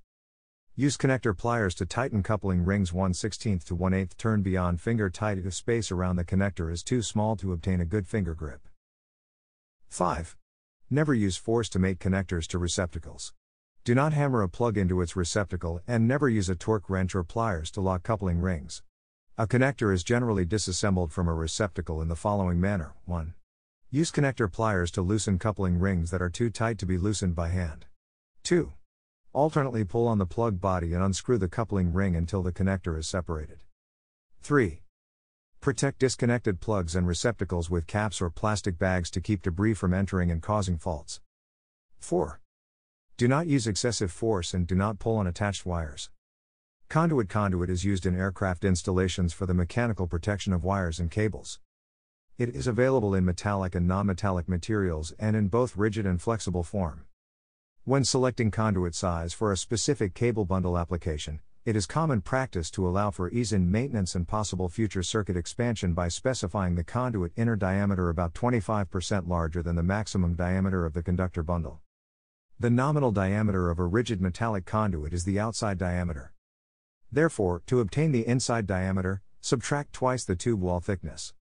From the abrasion standpoint, the conductor is vulnerable at the ends of the conduit. Suitable fittings are affixed to conduit ends in such a manner that a smooth surface comes in contact with the conductor within the conduit. When fittings are not used, the conduit end should be flared to prevent wire insulation damage. The conduit is supported by clamps along the conduit run. Many of the common conduit installation problems can be avoided by proper attention to the following details 1. Do not locate conduit where it can be used as a handhold or footstep. 2. Provide drain holes at the lowest point in a conduit run. Drilling burrs should be carefully removed from the drain holes. 3. Support the conduit to prevent chafing against the structure and to avoid stressing its end fittings. Damaged conduit sections should be repaired to prevent injury to the wires or wire bundle. The minimum acceptable tube bend radii for rigid conduit as prescribed by the manufacturer's instructions should be carefully followed. Kinked or wrinkled bends in a rigid conduit are normally not considered acceptable. Flexible aluminum conduit is widely available in two types bare flexible and rubber covered conduit. Flexible brass conduit is normally used instead of flexible aluminum where it is necessary to minimize radio interference. Flexible conduit may be used where it is impractical to use rigid conduit, such as areas that have motion between conduit ends or where complex bends are necessary. Transparent adhesive tape is recommended when cutting flexible conduit with a hacksaw to minimize fraying of the braid. Electrical equipment installation This section provides general procedures and safety precautions for installation of commonly used aircraft electrical equipment and components. Electrical load limits, acceptable means of controlling or monitoring electrical loads, and circuit protection devices are subjects with which mechanics must be familiar to properly install and maintain aircraft electrical systems. Electrical load limits when installing additional electrical equipment that consumes electrical power in an aircraft. The total electrical load must be safely controlled or managed within the rated limits of the affected components of the aircraft's power supply system. Before any aircraft electrical load is increased, the associated wires, cables, and circuit protection devices, such as fuses or circuit breakers, should be checked to determine that the new electrical load, previous maximum load plus added load, does not exceed the rated limits of the existing wires, cables, or protection devices. The generator or alternator output ratings prescribed by the manufacturer should be compared with the electrical loads that can be imposed on the affected generator or alternator by installed equipment. When the comparison shows that the probable total connected electrical load can exceed the output load limits of the generators or alternators, the load should be reduced so that an overload cannot occur. When a storage battery is part of the electrical power system, ensure that the battery is continuously charged in flight, except when short intermittent loads are connected, such as a radio transmitter, a landing gear motor, or other similar devices that may place short time demand loads on the battery. Controlling or monitoring the electrical load placards are recommended to inform crew members of an aircraft about the combinations of loads that can safely be connected to the power source. In installations where the ammeter is in the battery lead and the regulator system limits the maximum current that the generator or alternator can deliver, a voltmeter can be installed on the system bus. As long as the ammeter does not read discharge, except for short intermittent loads such as operating the gear and flaps, and the voltmeter remains at system voltage, the generator or alternator is not overloaded. The ammeter can be redlined at 100% of the generator or alternator rating in installations with the ammeter in the generator or alternator lead, and the regulator system does not limit the maximum current that the generator or alternator can deliver. If the ammeter reading is never allowed to exceed the red line, except for short, intermittent loads, the generator or alternator is not overloaded. Where the use of placards or monitoring devices is not practical or desired, and where assurance is needed that the battery in a typical small aircraft generator or battery power source is charged in flight, the total continuous connected electrical load may be held to approximately 80% of the total rated generator output capacity. When more than one generator is used in parallel, the total rated output is the combined output of the installed generators. Means must be provided for quickly coping with the sudden overloads that can be caused by generator or engine failure if two or more generators are operated in parallel and the total connected system load can exceed the rated output of one generator.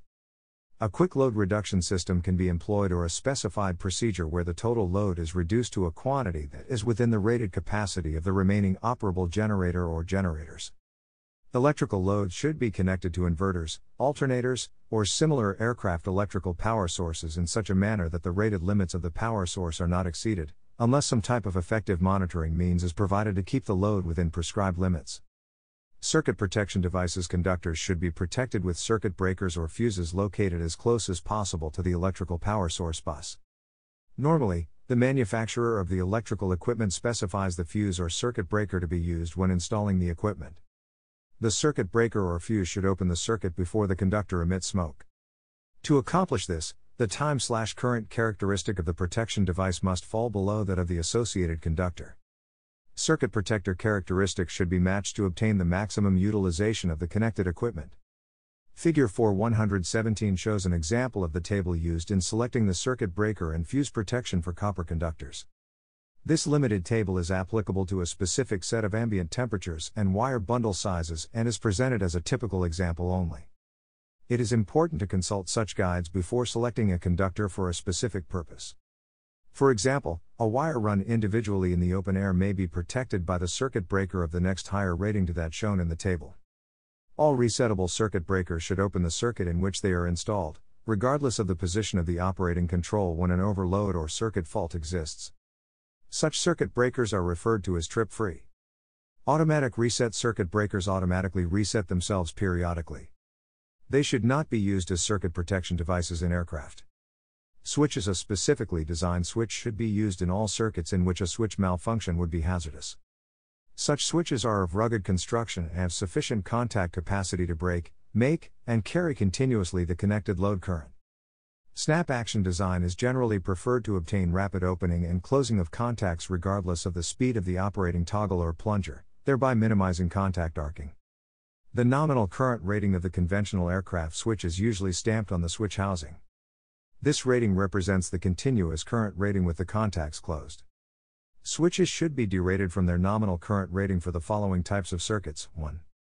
High rush in circuits. Circuits containing incandescent lamps can draw an initial current that is 15 times greater than the continuous current. Contact burning or welding may occur when the switch is closed.